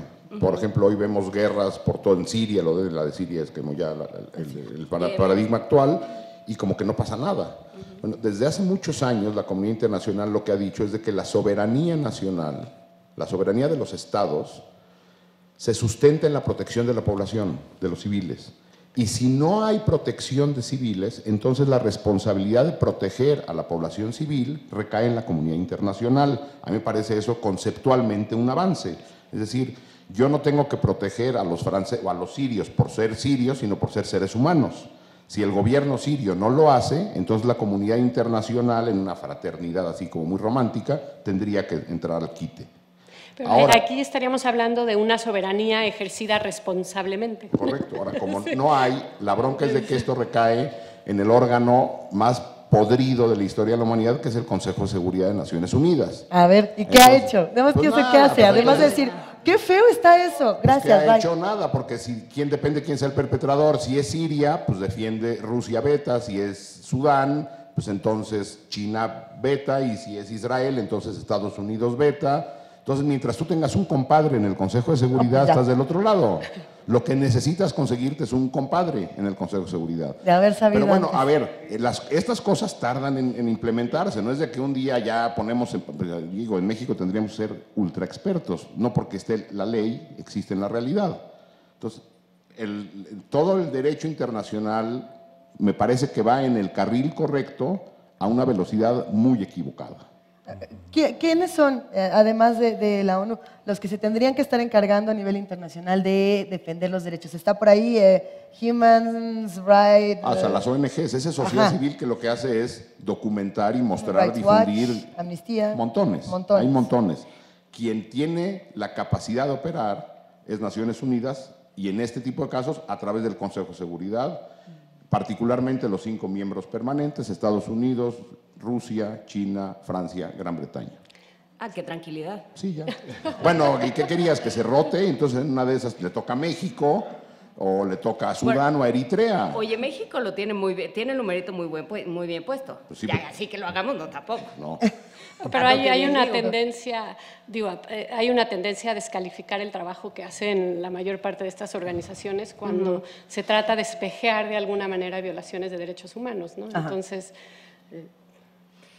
Sí, que ahí hay un tema. ¿Quién, quién defiende los derechos humanos? O sea, si pensando a nivel, eh, a nivel de gobiernos, ¿no? a nivel interior, si uno piensa, eh, pues, quienes, quienes cometen y quienes atentan contra los derechos humanos son los gobiernos, cómo los gobiernos mismos vas a pedirles cuentas. Lo que es que hay, hay violaciones de derechos humanos que son cometidas por agentes del Estado, pero también hay violaciones de derechos humanos que son cometidas por agentes no estatales, ¿no? Ujú. Y en la mayor parte de los casos hay una hay un, están coludidos o hay una colaboración importante en esto. Entonces, pues por un lado, eh, o sea, obviamente es pa- eh, parte del- de, la responsabilidad de la sociedad civil el, el- el, eh, eh, presentar los casos, el evidenciar los casos, y es responsabilidad del Estado el eh, hacerse responsable y de alguna manera eh, hacer justicia, ¿no?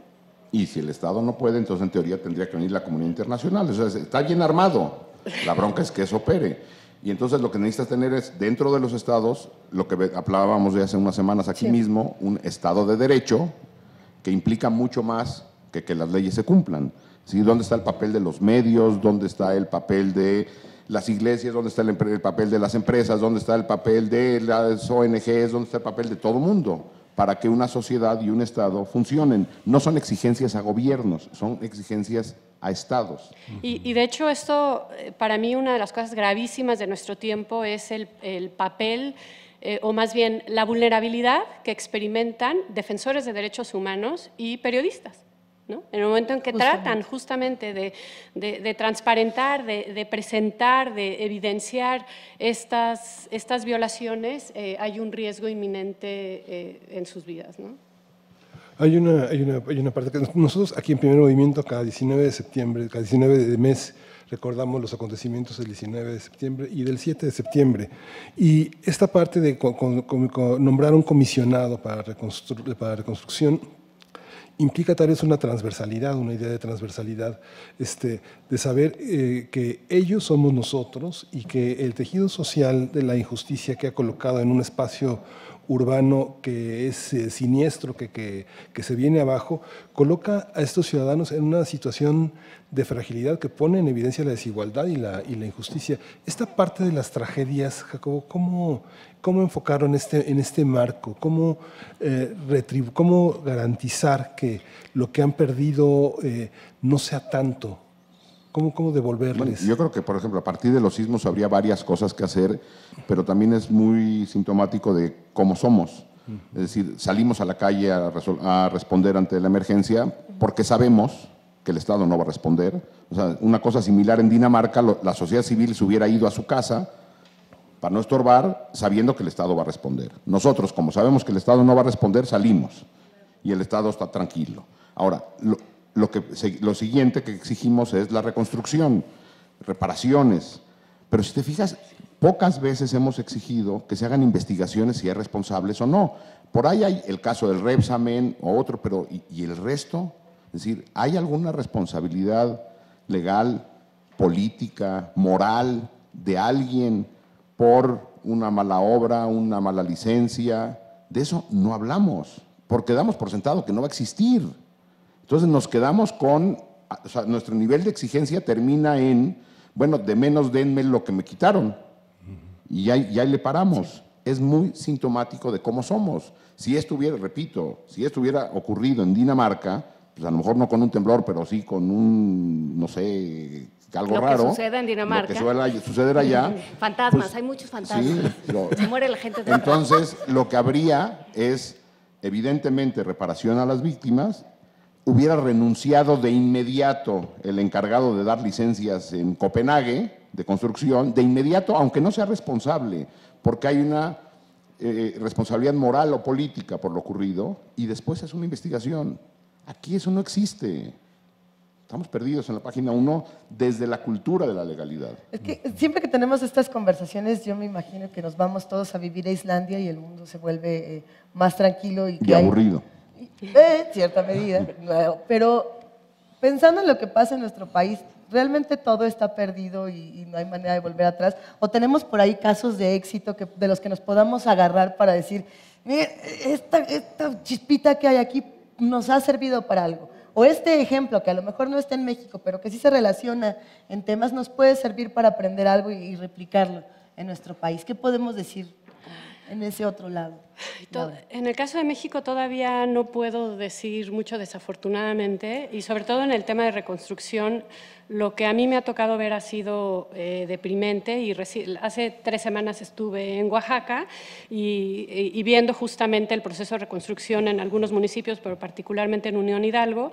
Y una de las cosas con mucha tristeza que vi es que eh, hay, una, hay un como régimen de, de- depredación, o sea que no solo viene de- del mismo régimen político, o sea, esta falta de, dar respuestas y que no se roben el dinero y demás, sino que dentro de la misma sociedad ha habido formas de lucrar y de eh, ganar de eh, la tragedia que han vivido miles de ciudadanos mexicanos. ¿no? Entonces, eh, ha habido ONGs que se crearon, que es que para la reconstrucción, que llegaron a, tratar de reconstruir y se salen habiendo estafado a familias enteras en ese proceso. ¿no? Entonces, yo creo que todavía hay una este, madurez como hasta humanitaria, civil, cívica, eh, me parece que, todavía eh, necesitamos desarrollar para poder hacer frente de una manera adecuada a retos tanto de justicia como de reconstrucción en, procesos este, de post-desastre. ¿Estabas buscando un momento motivacional, Luisa? Sí, no, no, ya me voy. no te vamos a invitar. ya para que Jacobo se oiga optimista, ¿cómo estarán las cosas? A ver, Suena difícil, pero no imposible. Esa es la idea. O sea, Es- se puede re- Sí, pero nada más de no, no que hagamos en el hay que echarle ganas, ¿no? O si se puede, si se puede. No, sin O, caer sea, en o creamos ciudadanía enterada, responsable y participativa, aunque suene muy cursi, o no vamos a, no vamos a salir de acá. Hay que crear ciudadanía. Pero de que hay, cam- o sea, hay un camino para crear esta Ah, ciudadanía. Sí, claro. a ver, Carmen Valencia, que anda por ahí junto con su hermana Martelena, hola, las dos Ah. niñas Valencia, eh, pregunta, yo no me puedo defender porque el delincuente tiene derechos humanos y mis derechos. ¿no? Ese es el tema que nos llevó a esta Sí, no, sí se pueden defender. Tienen que exigirle a las autoridades que hagan su trabajo. Pero es que El- es el mismo principio de cuando sales a la calle a recoger escombro porque nadie más lo va a recoger. Por eso, pero entonces la solución no es fusilar al posible o presunto responsable. La solución es, o sea, la- ante cualquier agresión, lo que nosotros como víctimas o como sociedad exigimos es saber la verdad, ser reparados eh, en la medida de lo posible, hay casos en que es prácticamente imposible, y que se haga justicia. ¿A quién se le exige eso?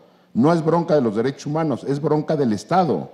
Entonces, bueno, sí, hay un déficit enorme, infinito. Entonces, tenemos que exigir al Estado que cumpla con la obligación para la cual dijo que quería el cargo X, Y o Z. La solución no es quitarnos derechos, porque hoy nos toca estar del lado de la víctima y mañana nos inventan una historia. ¿eh? Y digo, ejemplos sobran. Mañana vamos por la calle y nos dicen que yo maté a, a- a Colosio. Y sí, y a ver quién dice que no.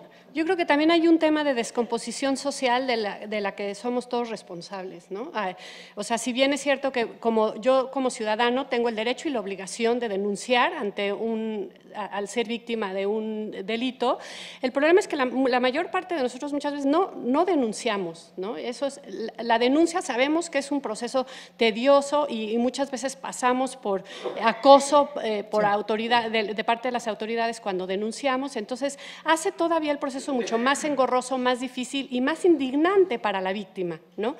Pero todo este proceso de descomposición social yo creo que eh, hemos sido nosotros responsables porque hemos tolerado la corrupción, hemos tolerado la impunidad y, y yo creo que en esta construcción de ciudadanía, estos, eh, esta revaloración eh, de- de- de- del papel que jugamos como, sociedad es muy, muy importante. Perdón, es que Luisa y yo estábamos en nuestro momento de pitcher y catcher. Este, no, eh, es Los que yo dos queremos pensaba, hablar. Pensaba justamente en el papel del testigo, y aquí es donde Jacobo Dayan siempre se da vuelo y nos pone como chanclas, pero, y- pero ¿cómo entender? O sea, yo creo que si algo surgió, eh, si alguna reacción surgió, por ejemplo, durante todos estos enconos de las pre, pre, pre-campañas, las pre-campañas, las pre-pre-campañas, las post-campañas y, y demás, ha sido decir, yo no soy, ¿no? Es que los empresarios sí, pero yo no. ¿no? Entonces, eh, ¿qué, qué hacer con el yo no soy? ¿Dónde quedan los testigos y dónde quedan aquellos nosotros que revisamos todos los días el periódico y solo nos quedamos en el qué barbaridad? ¿Dónde está la responsabilidad del testigo? Bueno, de la- de- del testigo, o sea, de nosotros como ciudadanos de a pie. Pues sí. Bueno, pues evidentemente es muy difícil que a mí me, o a cualquiera de nosotros nos pongan a solucionar el caso Ayotzinapa, bueno, pues no podemos. Pero entonces lo que sí podemos hacer es empezar a generar en nuestros entornos más cercanos espacios donde no se tolere, la el- bueno, no la mentira así como de cotidiana, sino porque eso es como muy... Pero también. No, bueno, sí, pero es prácticamente imposible. O sea, que te digan, oye, te vi ayer, en no sé, no, yo no era. Eso está más difícil, ¿no? Pero, por ejemplo, no tolerar el, el engaño, la corrupción, eh, la gandalle. Es, o sea, Y y entonces de, de pequeños núcleos de sociedad y quien tenga aspiraciones mayores y le preocupe el manatí, pues se ponga a trabajar para eh, proteger al manatí y el que tenga eh, predilección por defender el parque de la esquina de su casa, pues que se haga responsable del parque de la esquina de su casa. Ahora, esto no se soluciona en dos días, pues es, una es la creación de ciudadanía que nos lleva probablemente una generación. El ejemplo al que yo siempre vuelvo es, yo crecí, yo, yo fui educado en este país donde en un, en un sistema educativo donde no se hablaba nada de ecología, cero. Nosotros de niños acababas la bolsa de papas y la tirabas por la, por la ventana del carro, así, pero así como sin nada. Iba a desaparecer. Sí, así crecimos, es la un angelito se le iba a llevar. Sí, o nada más mi mamá era cochina, no lo sé, pero así, así crecíamos. Pero yo veía que todos lo hacían. ¿Sí? O por ejemplo se veía donde eh, fumar, pues todo el mundo fumaba en todos lados. Y si hoy le preguntan a niños, niñas, hay una conciencia ecológica mayor de preservación del agua, de no tirar basura, de separarla. de- es decir, algo pasó de una generación a otra. Bueno, pues, eso habría que hacerlo en temas de justicia, de espacio público, etcétera, etcétera. De que se puede, se puede. Ahora hay que hacerlo y hay que hacerlo de manera seria. Y es la responsabilidad de todas y de todos. Ya los niños no se quieren hacer pipí en la alberca, por ejemplo. ¿no? ¿Ya no? Ya no. ¿Cómo no? En las muchas maneras en las que nos podemos organizar, eh, muchas personas en redes sociales, por ejemplo, dicen que eh, la nueva manera de manifestarse está ahí porque salir a las calles ya no tiene eh, ningún sentido o no hay ninguna respuesta por parte de las autoridades.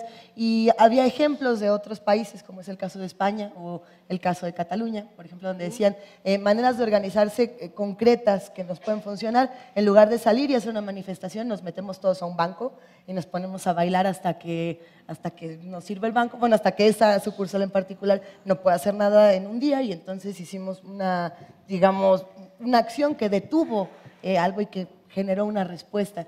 Eh, ¿Qué tipos de acciones concretas, no meternos a los bancos a bailar, no estoy sugiriendo eso, pero qué tipos de acciones podemos tener para exigirle a nuestras autoridades por los derechos humanos? Yo creo que Jacobo ya habló ahorita de algo muy, muy importante y es que, o sea, cuando hablamos de derechos humanos a veces parece algo muy etéreo y cuando hablamos de justicia y cuando hablamos de ciudadanía y hablamos de participación social, a veces son conceptos que parecen demasiado amplios y con, como una meta de, de- de- de- subir el Everest.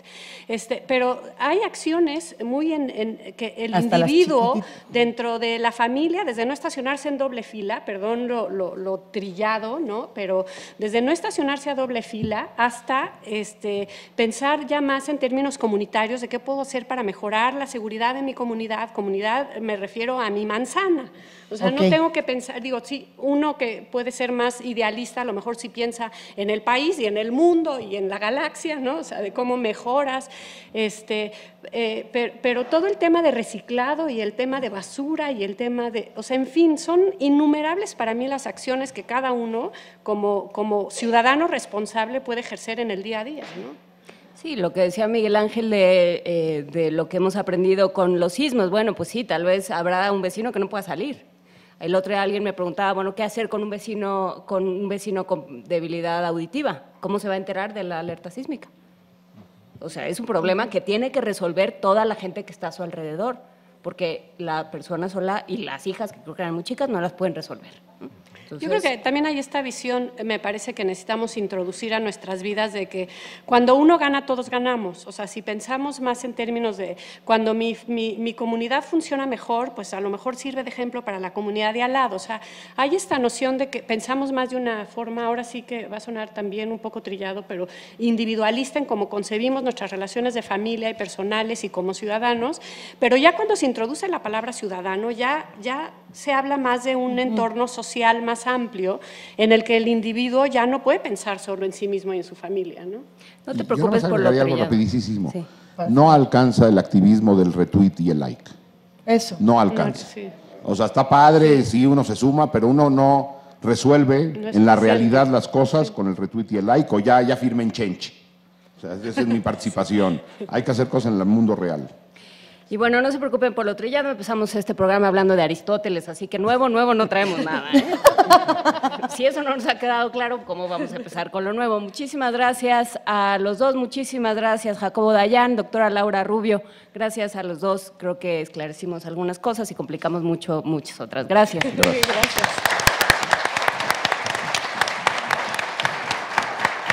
Quédense con nosotros aquí en Primer Movimiento. Cuatro años al aire gracias a ti. Primer movimiento. Hacemos comunidad.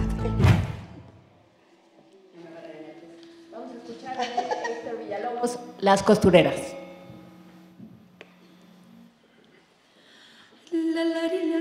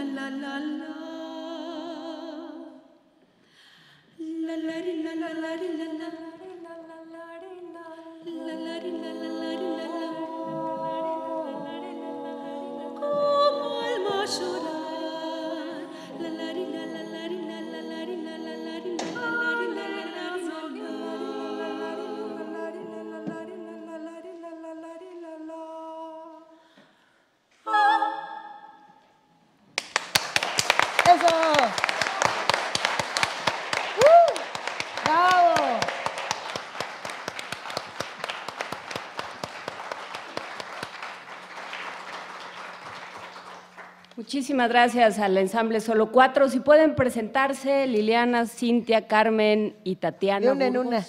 De una en una, por favor. O pueden hacer melodías si pueden. Y venir si quieren. Buenos días a todos. Mi nombre es Cintia Sánchez y soy soprano. Buenos días, mi nombre es Liliana Valadez y es un gusto estar aquí con ustedes. Buen día, mi nombre es Carmen Contreras, mezzosoprano. Muchas gracias por la invitación. Buenos días, mi nombre es Tatiana Burgos, soy mezzosoprano. Gracias por estar aquí y gracias por escucharnos.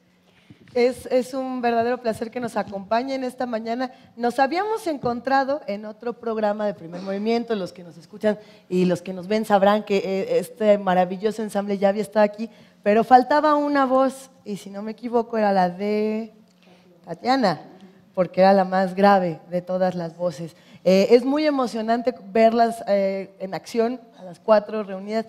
Solo Cuatro es un ensamble hecho por mujeres que además tiene características muy peculiares. Eh, ¿Cómo les va eh, como ensamble? ¿Qué han encontrado en estas cuatro voces? Y, y pues cuéntenos un poco de esta experiencia porque aquí todos somos admiradores.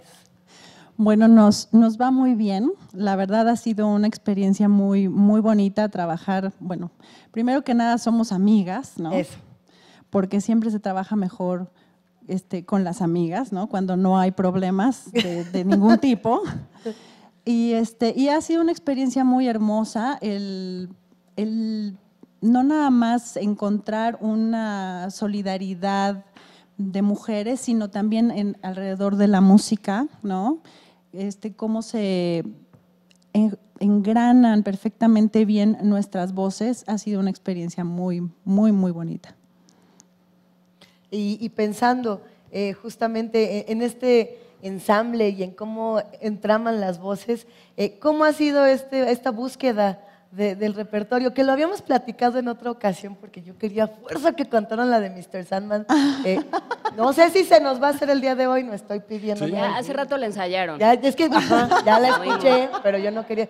Eh, ¿qué, qué pasa? ¿Cómo se encuentran o cómo fue que encontraron estas voces? Se sentaron todas las amigas y dijeron, a ver, eh, échate un canto. échate No, ya rola". habíamos trabajado juntas, ya habíamos trabajado juntas y bueno, este, en esos trabajos habíamos coincidido, ¿no? que, que nuestras voces empataban bastante bien.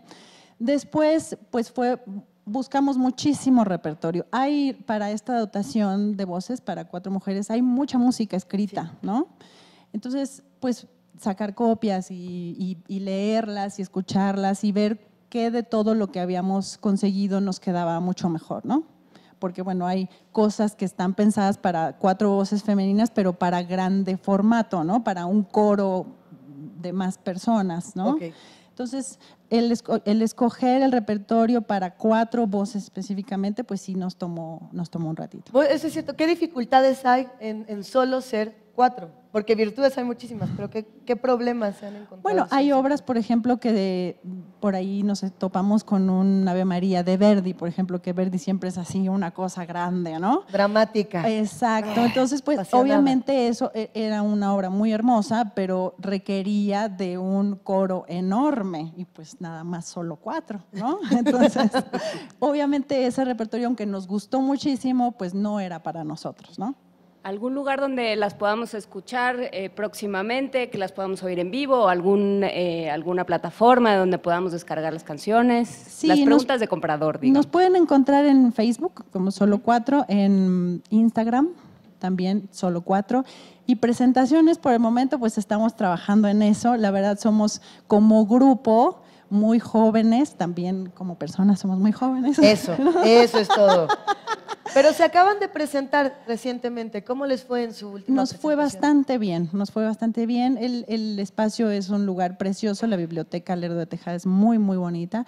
Había muchísima gente en el centro porque coincidimos con el día de la marcha, ¿no? De, la, de la marcha de la diversidad. Había muchísima gente y nos fue extraordinariamente. ¿Podemos escuchar otro poquito? Claro Un que poquito sí. de otra canción. Claro que sí. Cantaremos Las aguas de marzo de Antonio Carlos Jovín. Que no pudieron cantar con Cintia, con, con, Tatiana. Tatiana, Con con Tatiana, no. Sí. Venga.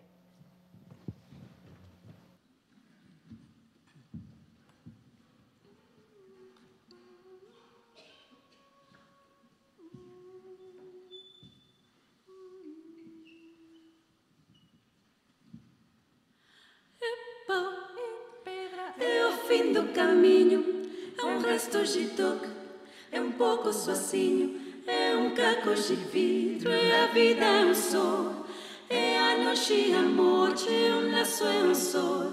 É peruba no campo, é no da madeira, cainga, caindeia, é uma tita pereira, é madeira de vento, tumbo da ribanceira, é um mistério profundo, eu queira ou não queira, é o vento ventando, é o fim da ladeira, é o biga, é bom, festa da comieira, é a chuva chovendo, é conversa à ribeira, das águas de março, é o fim da canseira, é o pé, é o chapéu, é martada, passarinho na mão, pedra da tiradeira, uma ave no céu, uma ave no chão, é um regate, uma fonte, um pedaço de pau, poço, é um fim do caminho, no rosto um desgosto, é um pouco sozinho, é um estrepe, é um prego, é uma pacara, é um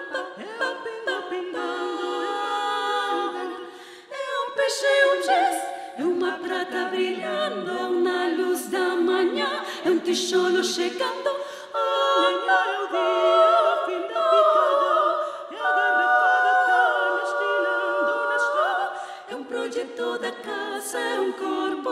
na cama, é um carro enguiçado, é a lama, é a lama. É um passo, é uma punch, é um sapo marinho. É um resto de mato, uma luz da manhã. Saua, saua, de março fechando o verão. É promessa de vida no teu coração.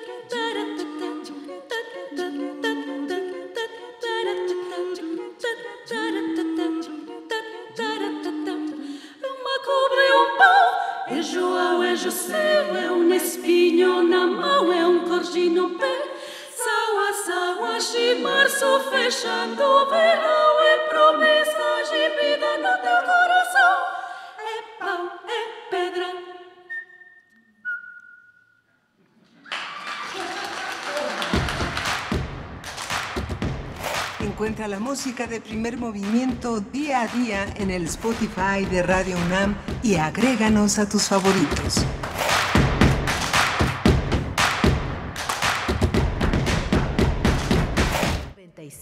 .1 de FM. Radio UNAM. Experiencia sonora.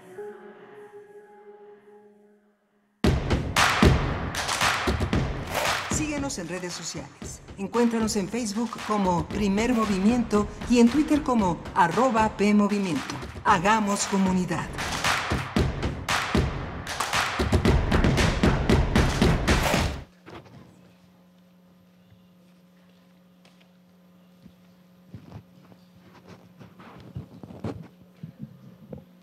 Y seguimos aquí en primer movimiento en esta tercera hora porque se fue volando 9 de la mañana con 5 minutos, celebrando cuatro años de transmisiones en vivo. Me parece que sí estamos, a- sí estamos al aire, estamos con todos ustedes. Si quieren ver eh, nuestra mesa con duraznos, eh, celulares, hojas y demás, pueden sintonizarnos en TV UNAM en el canal 120 o en el 20.1 o pueden darse una vuelta a la sala Julián Carrillo. Estamos en Adolfo Prieto 133, Colonia del Valle, transmitiendo con un público feliz, con un público además que hace comunidad con nosotros desde hace muchos años. Les aplaudimos, muchas gracias. Y hay que decirlo, hay una sorpresa, hay una deliciosa sorpresa que ya vimos por, por foto. Yo no, no la he visto en, persona, pero saliendo de aquí nos vamos a ir todos a celebrar juntos y nos da muchísimo gusto poderlo hacer con todos ustedes. Eh, estábamos recordando más cosas de, de los que hacen comunidad con nosotros. Nos gusta recordar lo que nosotros hacemos, pero nosotros nos vemos las caras No diario. siempre, no No, siempre ya estamos aquí todos los días. Recordamos, por supuesto, eh, lo estamos haciendo fuera del aire, las sirenas de, de Tania Mafalda. Le mandamos un abrazote, sabemos que no se pudo dar la vuelta el día de hoy. Estábamos recordando también a Carla Tuil, que ahí está Carla Tuil. Nos- Estábamos buscando entre el público. Gracias por acompañarnos, querida Toda Carla. esa. Ay, ya se fue toda la segunda fila. Ahorita viene, Adam. está regresando lentamente. Ahí viene. No, me, me dio terror de pronto cuando la vi. Hay, hay muchos radioescuchas. eh, también está, por supuesto, el equipo guerrero de primer movimiento. Y aplaudimos a todo el equipo de Radio UNAM que se vino desde muy temprano para ayudarnos con la iluminación, con la producción, con la ingeniería. Gracias a todos los que están Muchas otro gracias. lado. Porque como bien lo hemos dicho en este programa, a lo mejor nos vemos tres sentados aquí, pero somos un montón y, y son muchas las personas que aquí... O sea, así como un montón. Somos unos varios que estamos aquí todos juntos y nos encanta poder compartir. Por cierto, hay que decirlo, eh, hoy los radioescuchas que nos acompañan traen las playeras y los looks más interesantes. La mujer con la mejor playera que he visto de todos los tiempos de naranja mecánica, ahorita nos vamos a hacer cambalache. Es mi mamá y es su suéter naranja, Es ¿sí? la cosa más bonita Hola, que mamá. he visto. Híjole, qué maravilloso. Todos los que nos acompañan los vemos, los leemos todos los días y agradecemos que nos hayan mandado tantas sugerencias, tantos comentarios, que nos hayan ayudado a llenar esta encuesta que hicimos a lo largo de estas semanas para que nos contaran qué era lo que les gustaba, lo que no, lo que les gustaría cambiar, las cosas que les gustaría escuchar. Así que sépanlo, esta comunidad crece todos los días gracias a ustedes. Eh, por lo mismo, la poesía necesaria del día de hoy está hecha por ustedes. Vámonos para allá. Cuatro años al aire gracias a ti. Primer movimiento. Hacemos comunidad. Es hora de Poesía Necesaria. Ven, si hubiera venido Juan Stack, pudiera, hubiera podido cantar y decir que era hora de poesía necesaria. Nos estamos, justamente, seguimos aquí al aire con todos los que nos escuchan. Eh, no, no estamos teniendo ningún problema en No, comunicación. no, no. Nada de eso. Hacemos que, es que ya lo conocemos. Nosotros ya sabemos quién es. Este el Sí. primero en llegar. Siempre llega eh, Ay. para saludarnos. Hay que decir que en la poesía necesaria participan hoy Juan Osvaldo González Hernández, Javier Ramírez Amaro y Alfredo Salazar Duque. Residentes de primer movimiento a quienes abrazamos. Y empezamos nada más y nada menos que con Javier Ramírez Amaro. Javier, buenos días. Buenos días, muchísimas Bienvenido. gracias y muchas felicidades. La poesía, de, la poesía necesaria de hoy es de Jaime Sabines, Lento, amargo animal. Lento, amargo animal que soy, que he sido, amargo desde el nudo de polvo y agua y viento que en la primera generación del hombre pedía a Dios. Amargo como esos minerales amargos que en las noches de exacta soledad, maldita y arruinada soledad sin uno mismo, trepan a la garganta y costras de silencio asfixian, matan, resucitan.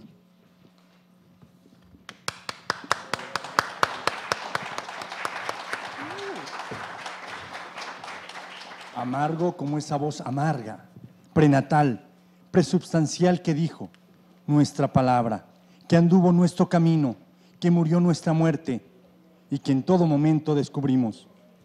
Amargo desde dentro, desde lo que no soy, como mi piel, como mi lengua, desde el primer viviente, anuncio y profecía.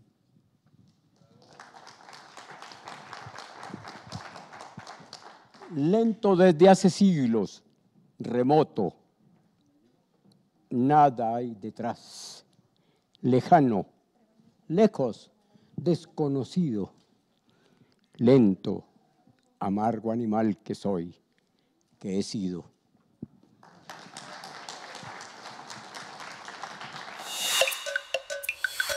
Primer movimiento. Hacemos comunidad. La mesa del día.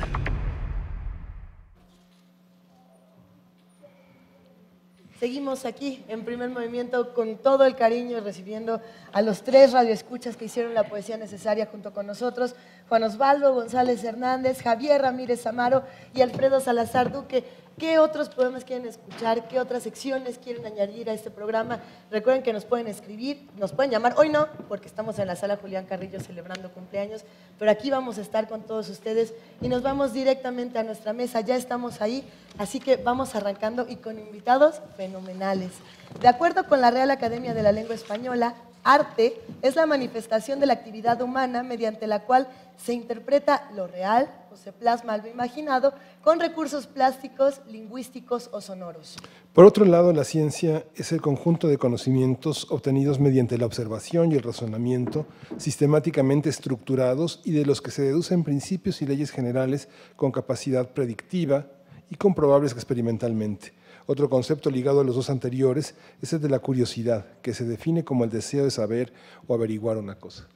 Algunos de los descubrimientos e inventos que cambiaron la historia de la humanidad se han originado por la curiosidad, el afán de solucionar problemas e incluso por accidente. Algunos, yo creo que los más bonitos son por accidente, pero ya lo iremos platicando. Entre los más importantes podemos mencionar el del fuego, electricidad, la anestesia, la penicilina, las vacunas, los rayos X, entre muchísimos otros. Asimismo, los inventos más importantes en la historia son, por ejemplo, el alfabeto, el papel, la imprenta, la brújula, el motor de vapor, el motor de combustión interna, el internet, etcétera. Ya lo iremos platicando. Vamos a conversar sobre la función que cumple el arte, la ciencia y la curiosidad en la formación y la definición de un ser humano. Están con nosotros Óscar de la Borbolla, él es escritor y filósofo. Bienvenido, Óscar.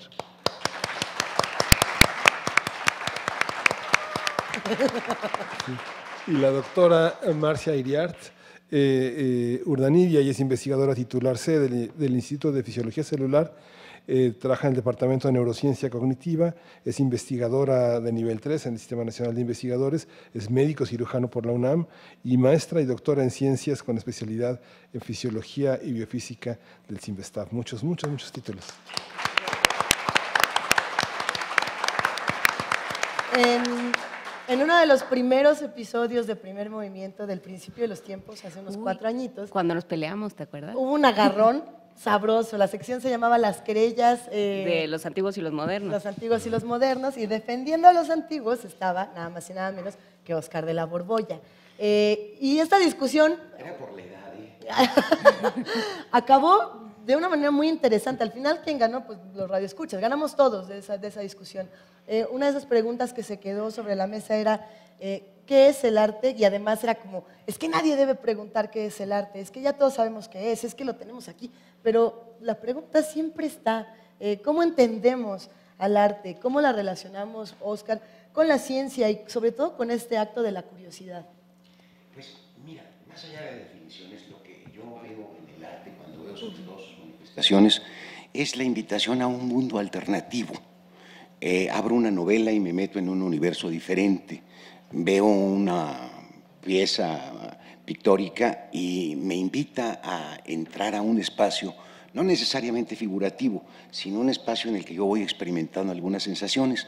La música, ni se diga, es un universo entero en el que uno puede perderse. Cuando veo a los bailarines de pronto traicionar lo pesado del cuerpo, porque inevitablemente el cuerpo es pesado, y poder dar estos giros, estos movimientos que parece que no tuvieran eh, que respetar la fuerza de la gravedad, descubro que hay una realidad paralela que complementa esta, que enriquece esta, y cuando hago estos viajes a esos espacios, regreso mucho más fortificado, tengo más sensibilidad para apreciar cosas de la vida cotidiana. Eh, hay una bonita definición del arte que planteaba por ahí Jean-Paul Sartre en un libro que se llama Las situaciones, en el tomo 3, si no me equivoco. Ahí Sartre decía que toda la literatura era revolucionaria, justo porque nos invitaba a otro mundo y cuando regresábamos de ese mundo y lo comparábamos inevitablemente con este, le descubríamos a nuestro mundo su defecto. Es, esta idea me, me gusta mucho porque zanjaba la, la antigua querella entre el arte comprometido y el arte burgués. Todo arte era revolucionario justo porque al invitarnos a otro mundo nos daba los referentes para poder criticar este. Nadie se echa impunemente una zambullida en una novela y cuando vuelve a esta vida le sigue pareciendo lo mismo. Hay un montón de, aspectos que se levantan de la condición humana y, y en todas las artes me, me, pasa lo mismo. Cuando veo un edificio, un edificio como el que se acaba de inaugurar ahí en la esquina, por ejemplo, de Insurgentes y Barranca del Muerto, esta obra que es la última pieza de Teodoro González de León, de veras el, el movimiento que va teniendo conforme pasan las horas, la manera como reflejan los cristales, el, este es un edificio triangular aparentemente, es una belleza que realmente logra conmoverme. O sea, el, el, arte para mí es esto, un mundo paralelo a este, al que voy y vengo y regreso para venir mejor acá. Marcia. Bueno, pues sin duda el arte eh, surge de la necesidad de manifestar una, una pasión, de expresar una pasión. Y creo que en la ciencia también nos apasionamos con los problemas, pero las preguntas son distintas. Aquí nos preguntamos eh, cómo funciona algo o, sí, básicamente, cómo, cómo son las cosas. ¿no? Y creo que también eh, en, en la parte de ser científico, en la creación de la investigación como tal, eh, en la forma de preguntarnos, pues también el científico se mete y se olvida de que existe el mundo, puede estar lloviendo afuera y en el laboratorio ni cuenta nos damos porque estamos eh, realmente dentro del experimento. Pero acá, pues eh, la imaginación eh, es importante, pero esperamos no utilizarla para interpretar nuestros resultados, sino ver más bien pues los datos, los números, qué es lo que está pasando, preguntarnos si es realmente eh, la respuesta a nuestra pregunta o, o no. Yo creo que eso es lo que continuamente estamos eh, luchando por ver si es la respuesta más adecuada o si hay otra. Y por supuesto los conceptos que van saliendo en la ciencia pues pasan, porque dependiendo de, de, eh, qué tan avanzada esté la tecnología y cómo nos podamos hacer las preguntas, pues a veces vamos entrando más, adentrándonos en los problemas y, contestando cosas que antes no podíamos contestar y eso pues eh, hace que nuestra hipótesis inicial, como nos habíamos planteado el problema, pues caiga y tengamos que plantear una nueva. Pero creo que en, los dos, en las dos manifestaciones humanas hay creatividad y que bueno, que de eso depende que avance la ciencia y que nos podamos pregu- preguntar cualquier cosa. ¿Y dónde entra la curiosidad y dónde entra la imaginación en el arte, Marcia? Digo, en la ciencia. Sí, en realidad, sí. Perdón, no te, iba, no te voy a hacer eso. Bueno, la curiosidad, eh, yo creo que no hay ningún buen científico que no sea curioso, porque te estás preguntando todo el tiempo cosas y, y te las vas preguntando, eh, pues cada vez más profundamente, como lo decía, porque ahora, antes se decía, no, pues la primera parte del método científico es la observación, y entonces, bueno, salía el científico y observaba el cielo, y bueno, lo- supongo que los astrónomos siguen viendo el cielo así a simple vista, pero pues ya realmente no hacen ningún descubrimiento eh, a través de verlo a simple vista, sino que usan eh, micros- microscopios, ¿no? Yo- es mi deformación a lo chiquito. Telescopios. Eh, telescopios muy potentes. Y, y bueno, yo creo que, que la curiosidad, pues la tienen los niños. En la escuela a veces se las matamos porque no pregunte niño. Eso, eso no se pregunta, sobre todo cuando los papás tienen mucha flojera de responder porque sí o porque no, o porque eso no se pregunta, ¿no? Entonces, pero bueno, digamos que alguien sigue con curiosidad de cómo es el mundo y yo creo que la imaginación y la creatividad viene de cómo responder esa pregunta, ¿sí? Porque uno se puede responder, eh, uno se puede preguntar muchas cosas, pero si no tiene la capacidad de eh, imaginar cómo lo puede responder, pues no lo va a responder nunca. Si no tiene la creatividad de hacer un acercamiento eh, con distintas técnicas o, o lo necesario para llegar a la respuesta, pues no va a llegar a ninguna respuesta o va, va- va a dedicarse a repetir lo que otros hacen. Lo que pasa es que la, la curiosidad no tiene un plan, ¿no? Digamos que lo- lo- después de la curiosidad está la sorpresa. Mira, creo que, que la necesidad que padecemos todos los seres vivos nos obliga a andar husmeando por aquí y por allá, buscando aquello que va a satisfacer nuestra necesidad. Eh, todos, cuando tenemos resueltos los problemas, como, buen chin- como buenos chimpancés nos sentamos a descansar. Cuando eh, está el acicate feroz de la necesidad, no nos queda más remedio que convertir eso en un problema. Eh, a mí me, me llama mucho la atención el origen de la ciencia, o, o digamos, la primera adquisición de algún conocimiento, porque quizá ahí está sintetizado todo el, el meollo del trabajo científico. Eh, ya descubierto el fuego y usado el fuego para cocinar o para lo que ustedes gusten y manden, hubo un momento en el que descubrieron el latón, el, el bronce. Eh, las piedras con las que seguramente amurallaban un poco la fogata para que el fuego no se desparramara, empezaban a derretirse. Eh, seguramente a muchos, muchos de nuestros ancestros les pasó este fenómeno inadvertido. Es- esas piedras tenían, cuando alguien se fijó, una coloración un poco amarillenta y, y se derretían. Y seguramente esto les llamó la atención y empezaron a hacer toda esta serie de adornos y demás que existen en el paleolítico. Pero de pronto alguien descubrió que ese mismo material mezclado con el carbón que se producía por la quemazón de los, de los leños o de los troncos, eh, hacía un metal un poco más duro. Y, y- y eso es una cosa muy interesante porque una cosa que parece piedra se puede transformar en otra. Entonces empezaron de alguna forma a hacer cierto tipo de experimentos, porque además la época del bronce, de la cual es representativa la, la guerra de Troya, es una guerra justamente que señala la época del bronce, era ya más o menos de dominio popular de los herreros, de los alquimistas, cuando descubrieron que se podía, poniéndole zinc, otra piedra que andaba por ahí, y, y carbón, pero para fundir esto necesitaban unas temperaturas muy altas. Tuvieron que hacer hornos en- excavando la tierra y alimentándolos con un fuelle, echándole aire para que el fuego se mantuviera y poder llegar a ese nivel de temperatura. Y consiguen el acero, nada menos.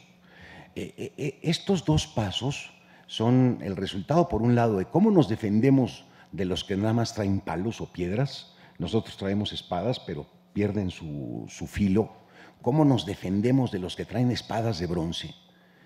Pues eh, de vez en cuando un aerolito les ofrecía un poco de, material tan resistente como, como el acero. Cuando se descubre la posibilidad de hacer, de hacer acero es porque están frente a un problema. Y ahí nace la ciencia porque en el fondo investigamos porque estamos convencidos de que hay una respuesta aquí mismo. Combinando ciertas cosas vamos a darle. Por eso la experimentación nunca se sabe a dónde va a llegar, porque es andar buscando un poco a, a- a ciegas qué combinar con qué cosa para lograr algún resultado. Muchos de, esos- muchos de los descubrimientos andan buscando una cosa y descubren otra. Esto que se llama serendipia y en español se llama chiripada, que es un término, que, que es un término preciso, no sé por qué usamos el, el inglés, eh, eh, eh, son puras chiripadas. Eh, estaban en un camino y encontraron otro.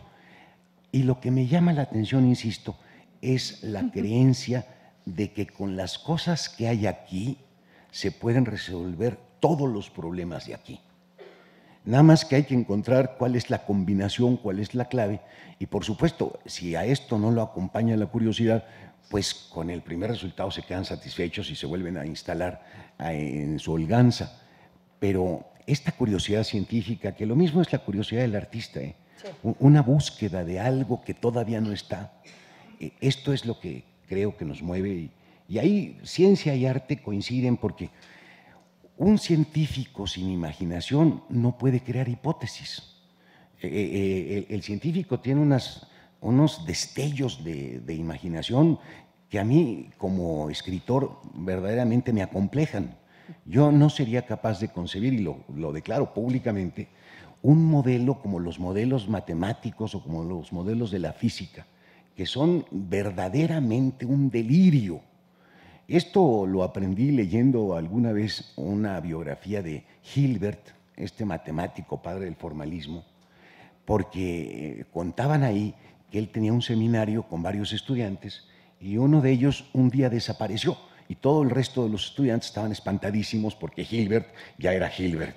Y, estaban temiendo que preguntara por qué no estaba sentado donde debía estar el alumno. Entonces, después de perder el, miedo, le contestaron y le dijeron, eh, eh, doctor, ¿sabe usted? Es que fulanito decidió volverse poeta. Entonces el Gilbert se echó para atrás y dijo, siempre lo supe, tenía muy poca imaginación.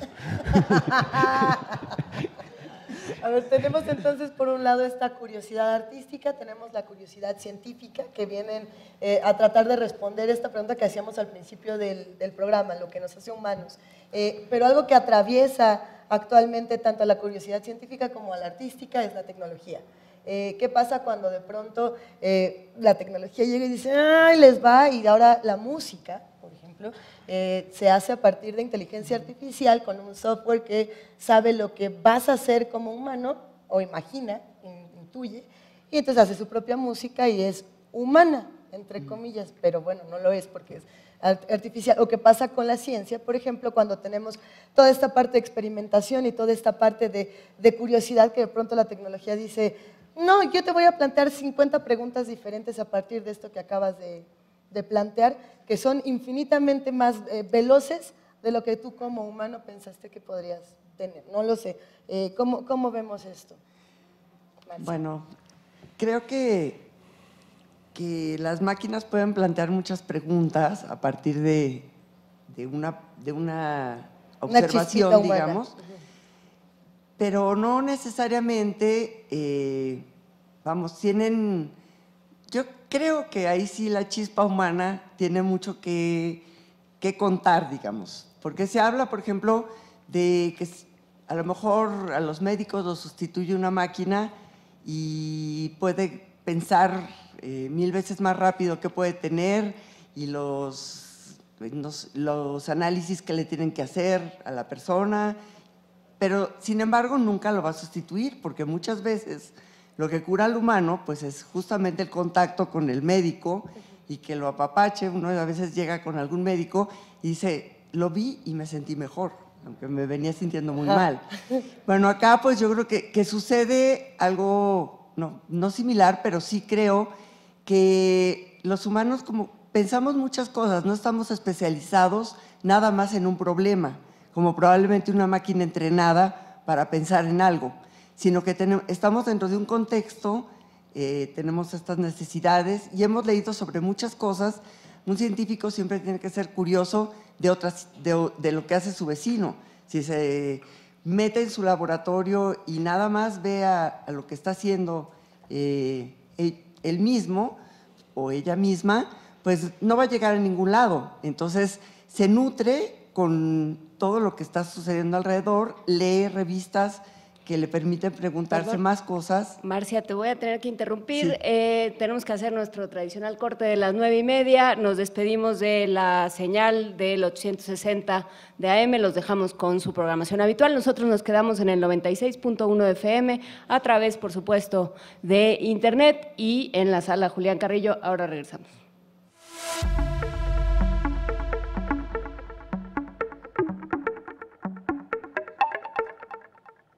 Seguimos aquí en primer movimiento. Eh, Mar- Marcia Iriar, te estabas diciendo que un científico tiene que preocuparse por lo que hace el del cubículo de junto. ¿Cómo se hace esto? Porque además hay una cosa, con, con estos sistemas de estímulos y de eh, los puntitos y, y los tortibonos y demás, de pronto hay unos, eh, unos problemas de competencia muy severos. Entonces, ¿cómo se, ¿cómo se lleva a cabo?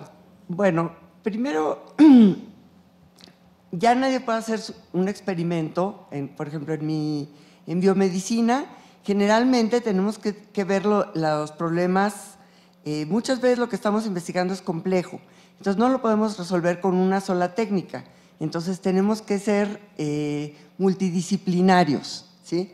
O transdisciplinarios, no sé, eh, esto a lo mejor después alguien lo puede explicar Intertrans, mejor. multi- Exact- exactamente, pero bueno, cuando menos saber, eh, a lo mejor yo pienso, tengo que irme a eh, Japón a hacer un experimento y sucede que mi vecino lo está haciendo, pero por estar preocupados en otras cosas que no son la ciencia, sino cómo eh, sobrevivir de mejor manera, por decirlo de alguna manera, pues no nos estamos fijando en lo que hace la, la gente que está junto a nosotros, o tal vez un poquito más para allá. En, en el- en la Ciudad de México hay muchísimos lugares donde se hace ciencia del, del estilo de la biomedicina, por ejemplo, o eh, física. Y bueno, mientras uno sepa más de lo que está- se está haciendo aquí, pues podrá resolverlo más rápidamente. Sin embargo, muchas veces pues sí tendrá que ir a otro sitio, aprender algo o no sé, y ver en cómo lo ha resuelto, cómo ha resuelto el problema que está planteando otras personas. Yo creo que eso es muy interesante. Entonces, realmente, si yo resolviera el problema de la diabetes en la Ciudad de México, pues lo resolvería en el mundo. Y en ese sentido, la, ci- la ciencia, como el arte, pues no es particular, ni es, eh, no puede ser dirigido y medido como algo cuantificable de manera exacta, ¿sí? Todas estas maneras de evaluar lo que, lo que se hace, que era lo que nos estaba diciendo los tortibonos y esto, pues muchas veces dicen, no, es que no cumpliste los objetivos. Pues es que no salió el experimento, el primero no salió y entonces no salió lo que yo esperaba, tuve que plantearme otro problema y lo estoy resolviendo de esta manera. Y si no hay apertura, pues es que no se está haciendo buena ciencia. Es curioso, una vez una, le preguntaba a Rufino Tamayo por qué no se había quedado más tiempo en Francia. Y él me decía, eh, no, no tenía nada que aprender. Y decía, no, sí, sí, hay muchas cosas que aprender, pero eh, la luz de allá no me enseña nada. Los problemas que tienen los pintores franceses no me sirven para lo que quiero hacer con la pigmentación mexicana, ¿no? con los pigmentos que él trabajaba. ¿no? Es este tema, es el tema de la latitud y la curiosidad. Que ¿no? también es el tema de la universidad y de la ciencia que se hace con dinero público. ¿no? Y del arte que se hace con dinero público. O sea, entra también, hay un factor moral, hay un factor, eh, digamos, asentado, enraizado en el piso con el arte y la ciencia. Mira, yo tengo una opinión muy personal a propósito de, de todos estos estímulos y de todos estos informes que tenemos que entregar los investigadores o los profesores de la UNAM y de todas las instituciones en el fondo. Ya nos van a escribir Eh, que eh, son- Es- las bases. Es un plan diabólico para que seamos menos productivos. Porque eh, hay más afán en llenar los, los cientos de renglones de preguntas absurdas eh, y, y eso le resta tiempo al trabajo real. Yo los odio, eh, a mí me parece Te, aberrante. te- Ay, te- al te resto acaban de mandar, te acaban de mandar un formulario. Oscar. Una investigadora de la UNAM, Elena Beristain, era maestra emérita del Instituto de Investigaciones de Poética, eh, decía que esto lo había inventado la CIA para hacer que eh, el rendimiento intelectual mexicano disminuyera. No sé si sea tanto. Lo que pasa es que se vuelve tan complejo el mundo que el director de un instituto ya no conoce personalmente el trabajo y la importancia de cada uno de sus investigadores y el que está por encima de este administrador menos lo conoce y el que está por encima menos lo conoce. Y la única manera de tener una idea de un universo tan grande de investigadores es a través de estos informes. Eh, lo paradójico es que creo que nadie los lee, o al menos esa es mi esperanza. Porque, porque si no, sería una vida doblemente inútil. Pero yo quisiera retomar un punto que era muy importante del que estaban platicando, el asunto de la diferencia entre una máquina y nosotros. Porque eh, se ha avanzado muchísimo en la capacidad de razonar de la máquina. La máquina puede hacer razonamientos mucho más veloces que nosotros. Esto ha permitido que se avance en unas rutas que antes eran inexploradas porque uno se pasaba media vida tratando de resolver una ecuación diferencial. Eh, por ejemplo, le tocó 20 años a un investigador en la época de Newton tratar con, el- con las matemáticas no lineales, establecer dónde estaría la luna puesta en cada uno de los momentos. Y esto una computadora actualmente lo resuelve, porque justo como pueden hacer iteraciones una tras otra a una velocidad infinita, pues nos pueden dar el lugar exacto de cualquier lugar del universo. Pero hay algo que la, que la máquina no hace. La máquina no entiende la ambigüedad. E- Esto parece que es una cosa insignificante, pero una máquina no me podría alburear. E- Y, y el albur, justamente, que es una figura retórica, muestra que nosotros somos capaces de entender un doble sentido. Un- una máquina Todavía, no sé más adelante si no llegan a hacerlo, porque están trabajando arduamente en, en inteligencia artificial, por lo menos por lo pronto, una máquina no puede reírse de un chiste. Un, chiste lo que hace es, el que se ríe es porque encuentra un atajo rápido a la solución. Les pongo un chiste y es visual. Era una caricatura que a mí me llamó mucho la atención y es medio obscena. Eh, Digno de las 9 de la mañana. están, están dos personas en un mirador frente a una serie de, de montañas. Y una de estas montañas, en lugar de tener la famosa forma típica del cono, tiene una forma como de, como de glúteos. Ok, ok. ¿eh? Lo dije de una manera muy, Muy sensata, sí. mm, muy Radio UNAM. científica, muy pues. científica. Eh, es- es- están Muy como unos glúteos. Y entonces se ve a los dos personajes que están asombrados ante el paisaje de, de las montañas. Y uno de ellos dice, y no te imaginas, esto no es nada, no te imaginas el eco. Ah, qué bonito. Todos los que se han reído son seres humanos, los otros no. No, Este, me, me- me refiero a que estas ocurrencias, este encontrar lo que no está dicho, este desbordar el marco de los axiomas y poder un poco ir más allá, este comportarnos como máquina gedeliana de Gödel, es lo que nos hace propiamente seres humanos. Es lo que nos permite encontrar la novedad, la diferencia, las desviaciones, las alternativas. Y no dudo, porque verdaderamente el monstruo sobre el que estamos parados es todo el trabajo de la humanidad. No duro que un día se pueda llegar a esto. Andan por ahí haciendo cosas muy, muy interesantes.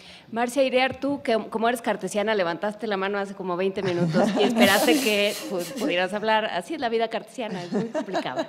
Cuéntanos, este, adelante. No, no, yo, yo quería volver sobre, sobre el tema de cómo se pregunta uno y, y qué frustración tenemos. lo- antes se, se se hablaba de una ciencia básica que se preguntaba lo más, eh, vamos, la esencia de las cosas, lo más, el, el detalle o el... Vamos, se preguntaba cosas que no eran útiles, por decirlo de otra manera, ¿sí? Entonces, eh, no hay mayor frustración para nosotros que yo trabajo en un instituto de ciencia, pues que básicamente de ciencia básica. Uno no- nunca sabe, la ciencia es un continuo.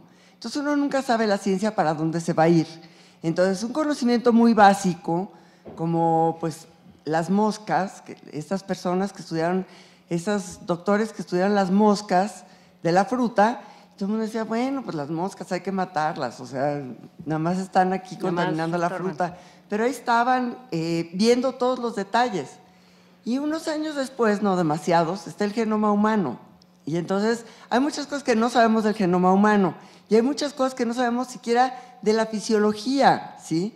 Y bueno, y somos parte de la evolución, como que siempre lo ponemos en términos del humano, ¿sí? Pero nos tenemos, nos tenemos que ver en términos de la evolución, ¿sí? Y, y bueno, nos tenemos que preguntar desde ahí las, las preguntas, muchas, muchas veces la, la curiosidad viene por preguntar algo pues muy básico, ¿sí? Y entonces, eh, pues dice, pero no, porque tú tienes que explicarle a la sociedad qué haces con su dinero. Entonces, bueno, es que estoy desarrollando conocimiento. No, no, no. ¿Pero qué más? Entonces, bueno, pues, ¿qué más que desarrollar el conocimiento? Y gracias a desarrollar eh, un conocimiento más profundo de algo, después puede derivar en otra cosa. Pero no siempre va a los tratamientos de la uña enterrada, ese, que, vamos, a veces va para allá, pero no siempre. Entonces, yo creo que yo quería regresar al término eh, de la creatividad como algo muy amplio que los verdaderos científicos de cosas muy básicas, eh, pues son muy incomprendidos porque lo que hacen no sirve para nada, inmediatamente. Pero nos estamos preguntando como sociedad, ¿para qué sirven las cosas? Y no nos damos cuenta de que, pues, vamos, eh, aquí cuando surgió la, la ciencia, el arte y todas aquellas cosas, pues simplemente iban siendo sorpresas, simplemente se iban utilizando algunas, otras se desechaban, otras servían para ir más adelante en algo, pero que no siempre vamos hacia la máquina o hacia algo que sirva, ¿sí? Sino que a veces somos una pintura abstracta por un rato. ¿no? Y antes, Marcia, eso es importantísimo. La, la investigación básica realmente es básica. Cuando solamente se hace eh, tecnología, o sea, se hace una cometida para resolver un problema concreto con todo el conocimiento que ya existe, los rendimientos son muy útiles para la sociedad. Pero tenemos documentado, o existe la documentación infinita, de un montón de cosas que en su momento no sirvieron para nada. Hay, hay una parte en la matemática que es la teoría de los números, que es la cosa aparentemente más absurda del mundo. Imagínense encontrar patrones de regularidad en los números, descubrir que hay números primos, porque tienen una rarísima peculiaridad, Eh, descubrir que hay números amigos, porque los divisores es- los tienen intercambiados, descubrir que hay unos números rarísimos que se comportan de una forma que no sirve para nada.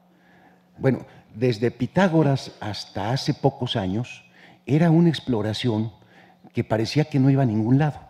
Si no hubiera sido por el avance que se hizo en esa disciplina, no podría existir la computación actual. Y, conste que la computación actual es el cimiento de la civilización contemporánea. Sin ella no podríamos ni siquiera aterrizar aviones. No hay un observador suficientemente hábil que contenga de pronto todos los aviones que van a aterrizar e irles dando el turno correcto. Lo que sucede es que esta inmediatez con la que se exige una rentabilidad, una productividad, es una visión muy chata de lo que es la ciencia. Ojalá que la investigación básica, esa que justamente no se sabe a qué va a llegar y no se puede determinar cuándo va a terminar y no se puede eh, ni siquiera prometer de qué va a tratarse, siga siendo auspiciada, porque la universidad justamente ha sido esto, un, un sitio en el que se nos ha permitido investigar y se han descubierto infinidad de cosas que en su momento no parecían servir para nada. Hubo gente que criticó el rayo láser porque era una monada y sin embargo el rayo láser hoy sirve para infinidad de cosas que tienen una aplicación práctica. Ojalá que no se cambie esta tendencia o por lo menos este, este privilegio que tiene la UNAM. Marcia Iriart, muchísimas gracias, muchísimas gracias, Oscar de la Borbolla, Luisa Iglesias. Ya dijeron que por qué estás como niño regañado. No, es que quién Nos atropella el tiempo. Se nos va el tiempo. En un momento más seguimos platicando fuera del aire todos juntos. Qué deliciosa conversación. Y hay muchísimas preguntas pendientes en nuestras redes sociales, en esta misma mesa, eh, que justamente lo que quería era generar preguntas y generar mucha curiosidad. Marcia Iriart, muchísimas gracias. Muchas gracias y muchas felicidades. Mil Gracias. gracias. Oscar de la Borbolla, muchas gracias. Muchas felicidades a todos por los cuatro años de este maravilloso programa. Nos despedimos con un aplauso. Gracias. Con nosotros. Aquí en Primer Movimiento tenemos más sorpresas para los que están haciendo comunidad con nosotros en la sala Julián Carrillo de Radio UNAM. Estamos en Adolfo Prieto 133, Colonia del Valle, a dos cuadras del Metrobús Amores. Y si ven que me río, pues es- no sabrán por qué. Estamos muy contentos. Los que nos están viendo y los que están aquí ya saben por qué aplaudimos todavía más fuerte de lo que estamos aplaudiendo. Ya se sentaron en la mesa con nosotros, nada más y nada menos que nuestros señores directores. Así que en un momento más los vamos a recibir otra vez con un gran aplauso. Quédense. Síguenos en redes sociales. Encuéntranos en Facebook como Primer Movimiento y en Twitter como arroba PMovimiento. Hagamos comunidad.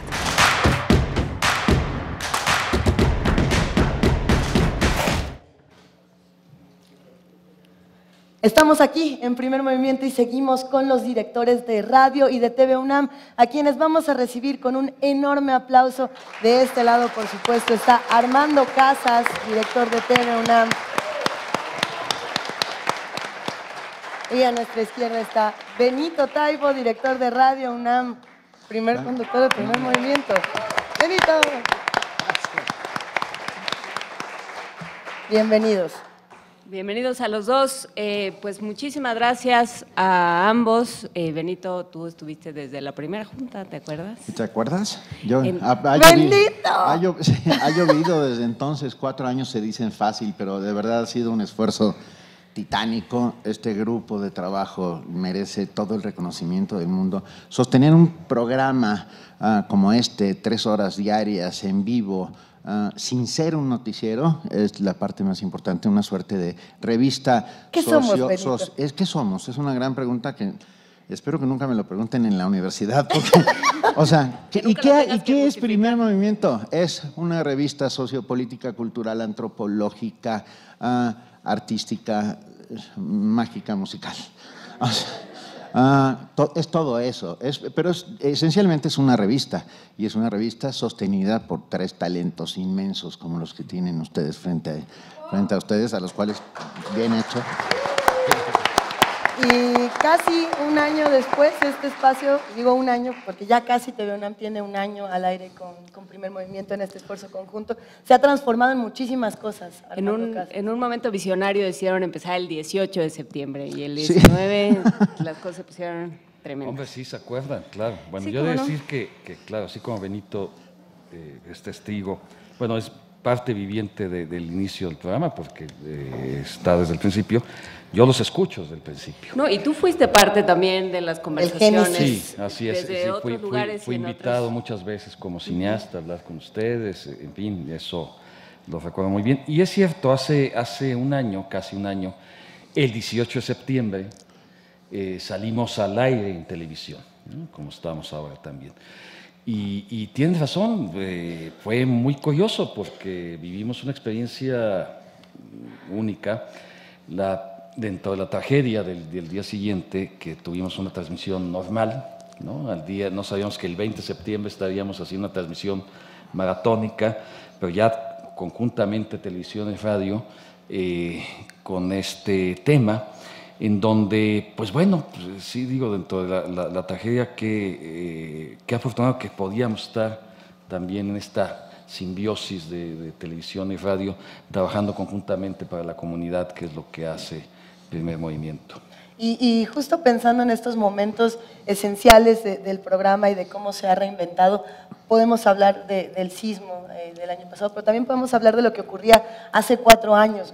Yo recuerdo muy bien, Benito, hace cuatro años cuando de pronto nace eh, Poesía Necesaria, cuando esto que no es un noticiero, que tampoco es una revista, que tampoco es uno de qué, que eh, no teníamos todavía tan claro que iban a pasar todas las cosas que pasaban hace cuatro años que hicieron que reinventáramos un espacio como este.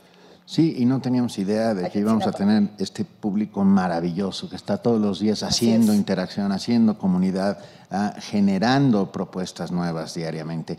Pero hoy les tenemos una noticia. Ah, Radio y TV UNAM somos un matrimonio muy bien avenido, por supuesto. Ah, este, ah, pero les tenemos una noticia. Vamos a...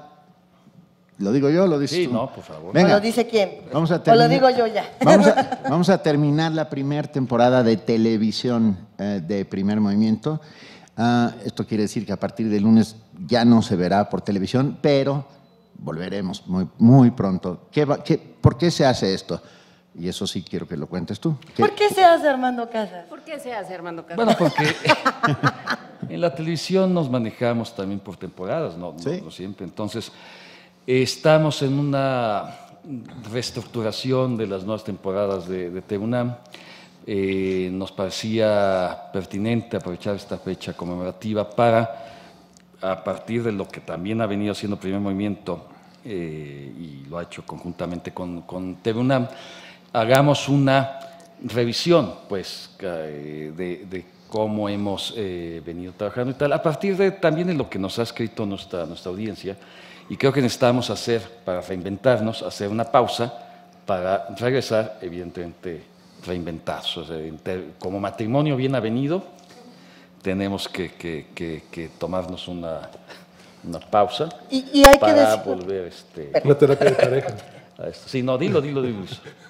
Eh, justo en el tema de la reinvención, no solamente se está reinventando el, el tema de primer movimiento, hay muchos otros programas que propone TV UNAM Ah, sí, que tienen, sí, sí, un- que tienen un- una gran capacidad. De hecho, sí, sí, lo digo. TEUNAM está, eh, acaba de terminar las temporadas de varios programas, está terminando otras, entonces parte de- del conjunto lo está haciendo ento- y regresarán varios de esos programas también reinventados. Hay Entonces, que, hay estamos- que, por supuesto, reconocer el trabajo y, y la comprensión y el buen ánimo de, de los compañeros de TV UNAM, que cuando en las juntas de producción les decíamos, ahora vamos a jugar lotería. ¿Cómo van a jugar lotería? Es muy fácil, va a ser al aire, va a ser, vamos a jugar lotería por radio. Y ahí nos siguen, muchachos.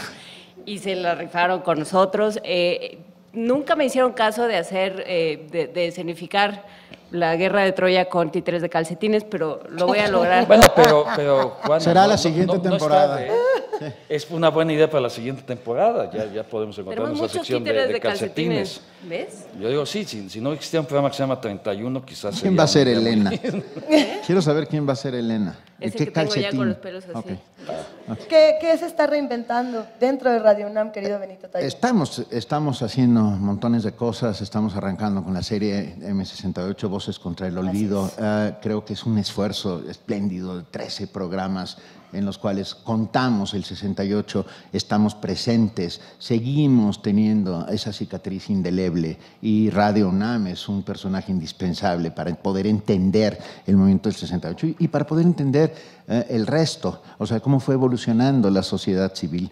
Eh, escúchenos todos los martes después del primer movimiento y también tenemos un buzón de voz. Alguien me preguntaba, eh, utilicen el buzón de voz, si ustedes estuvieron ahí, si saben alguna anécdota, si alguien les contó, por favor, cuéntenos, porque el 68, si no caben todas las voces, no cabrá ninguna. Y esto lo tenemos clarísimo. Y yo, yo inevitablemente tengo que aprovechar para decir que, claro, que en toda la coordinación de difusión cultural eh, hemos venido trabajando lo que conocemos como el M68, que son todas las actividades y eventos alrededor de esta conmemoración.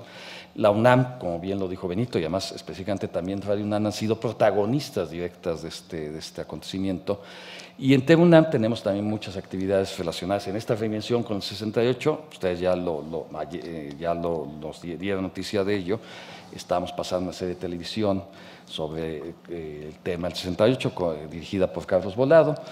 Que, Está bueno, padrísimo. Este, sí, estrenamos ahora ayer, que, antier, ayer, y que, no, antier, el miércoles, y que este viernes continúa su segundo capítulo. Pasa todos los miércoles y viernes a las 9 de la noche y se repite sábados y domingos a las 6. Varios me han reclamado que por qué no está, se puede ver en internet y por qué no está ahí. Sí se puede ver en el, en el streaming de TUNAM, pero bueno, lo que, eh, la petición de que esté subida en la plataforma, pues entenderán que por cuestiones de derechos, pues no es, no es fácil. Estas producciones son muy costosas y evidentemente tiene que seguir otros caminos. Pero eh, es parte de todo lo que también venimos trabajando. Algo que sería bueno recordar, comentar es que eh, como este matrimonio bien ha venido, nosotros tenemos un mismo Consejo Ciudadano y un mismo defensor de la audiencia que, que trabajamos conjuntamente.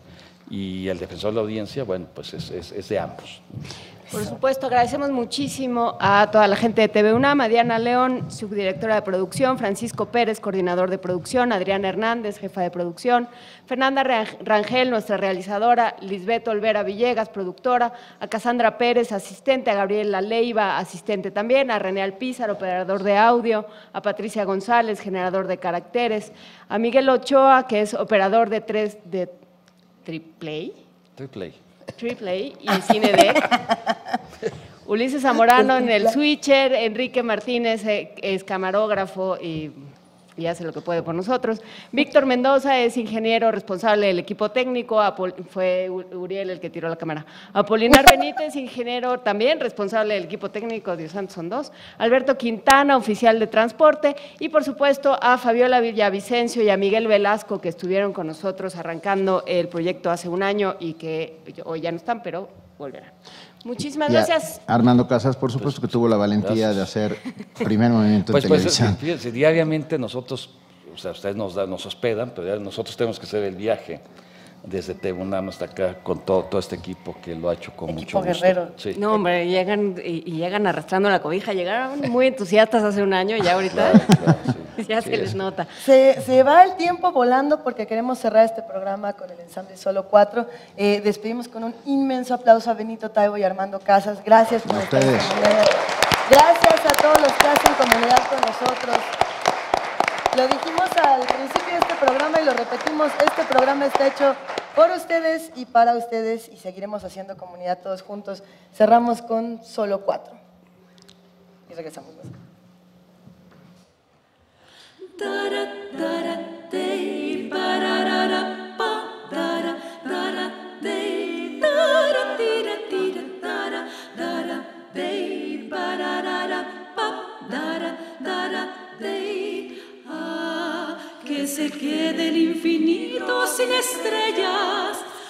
Que pierde el ancho mar su inmensidad, pero el negro de tus ojos que no muera y el canela de tu piel se quede igual. Si perdiera el arco iris su belleza y las flores su perfume y su color, no sería tan inmensa mi tristeza como aquella de quedarme sin tu amor. Me importas tú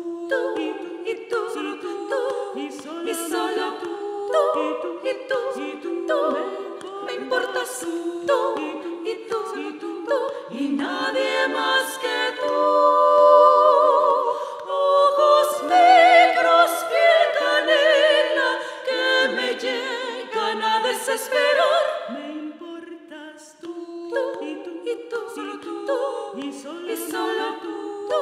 y tú, y tú, me importas tú, tú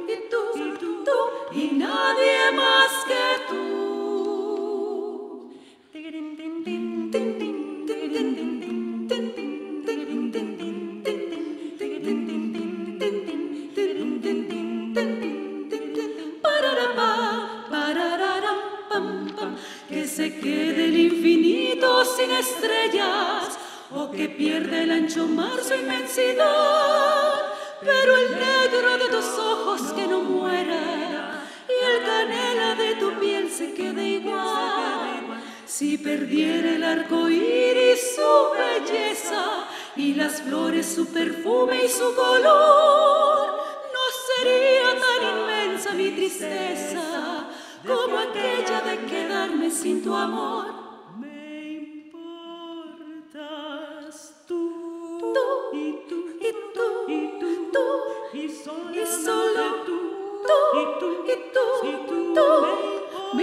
Importas tú y tú y tú y nadie más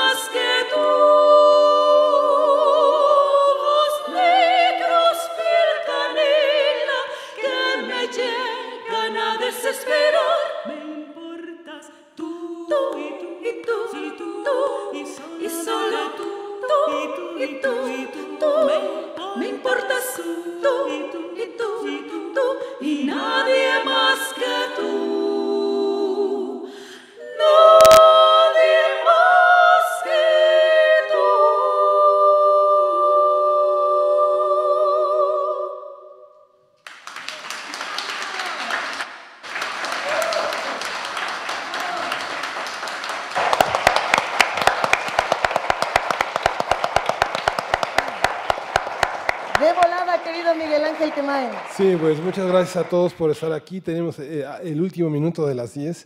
En la coordinación de invitados, Amalia Hernández, Miriam Trejo, Lisette Uribe. En las redes sociales, Vania Nuche. En la redacción, Toño Quijano. En la asistencia de producción, Gina Morelos, Islizochi López. En la producción, Frida Saldívar, Uriel Gámez. Y por Radio UNAM, Angélica Uribe, Susana Martínez, Maricruz Vega, Maripaz Genner, Toño Beltrán, Inti Terán, Paco Mejía, Rafael Alvarado, Emanuel Silva. En el equipo de transmisiones, Dora Villela. Esto fue Primer Movimiento. Nuestra jefa de información, Juana Inés de esa, le mandamos un, un aplausote también. Luisa Iglesias. Luisa Iglesias. Iglesias, Miguel Ángel Miguel Ángel Quemain. Quemain. Y todos los que hacen comunidad con nosotros, gracias. Gracias. Ahora sí. Ahora sí. Esto fue Primer Movimiento. El mundo desde la universidad. Radio UNAM presentó Primer Movimiento.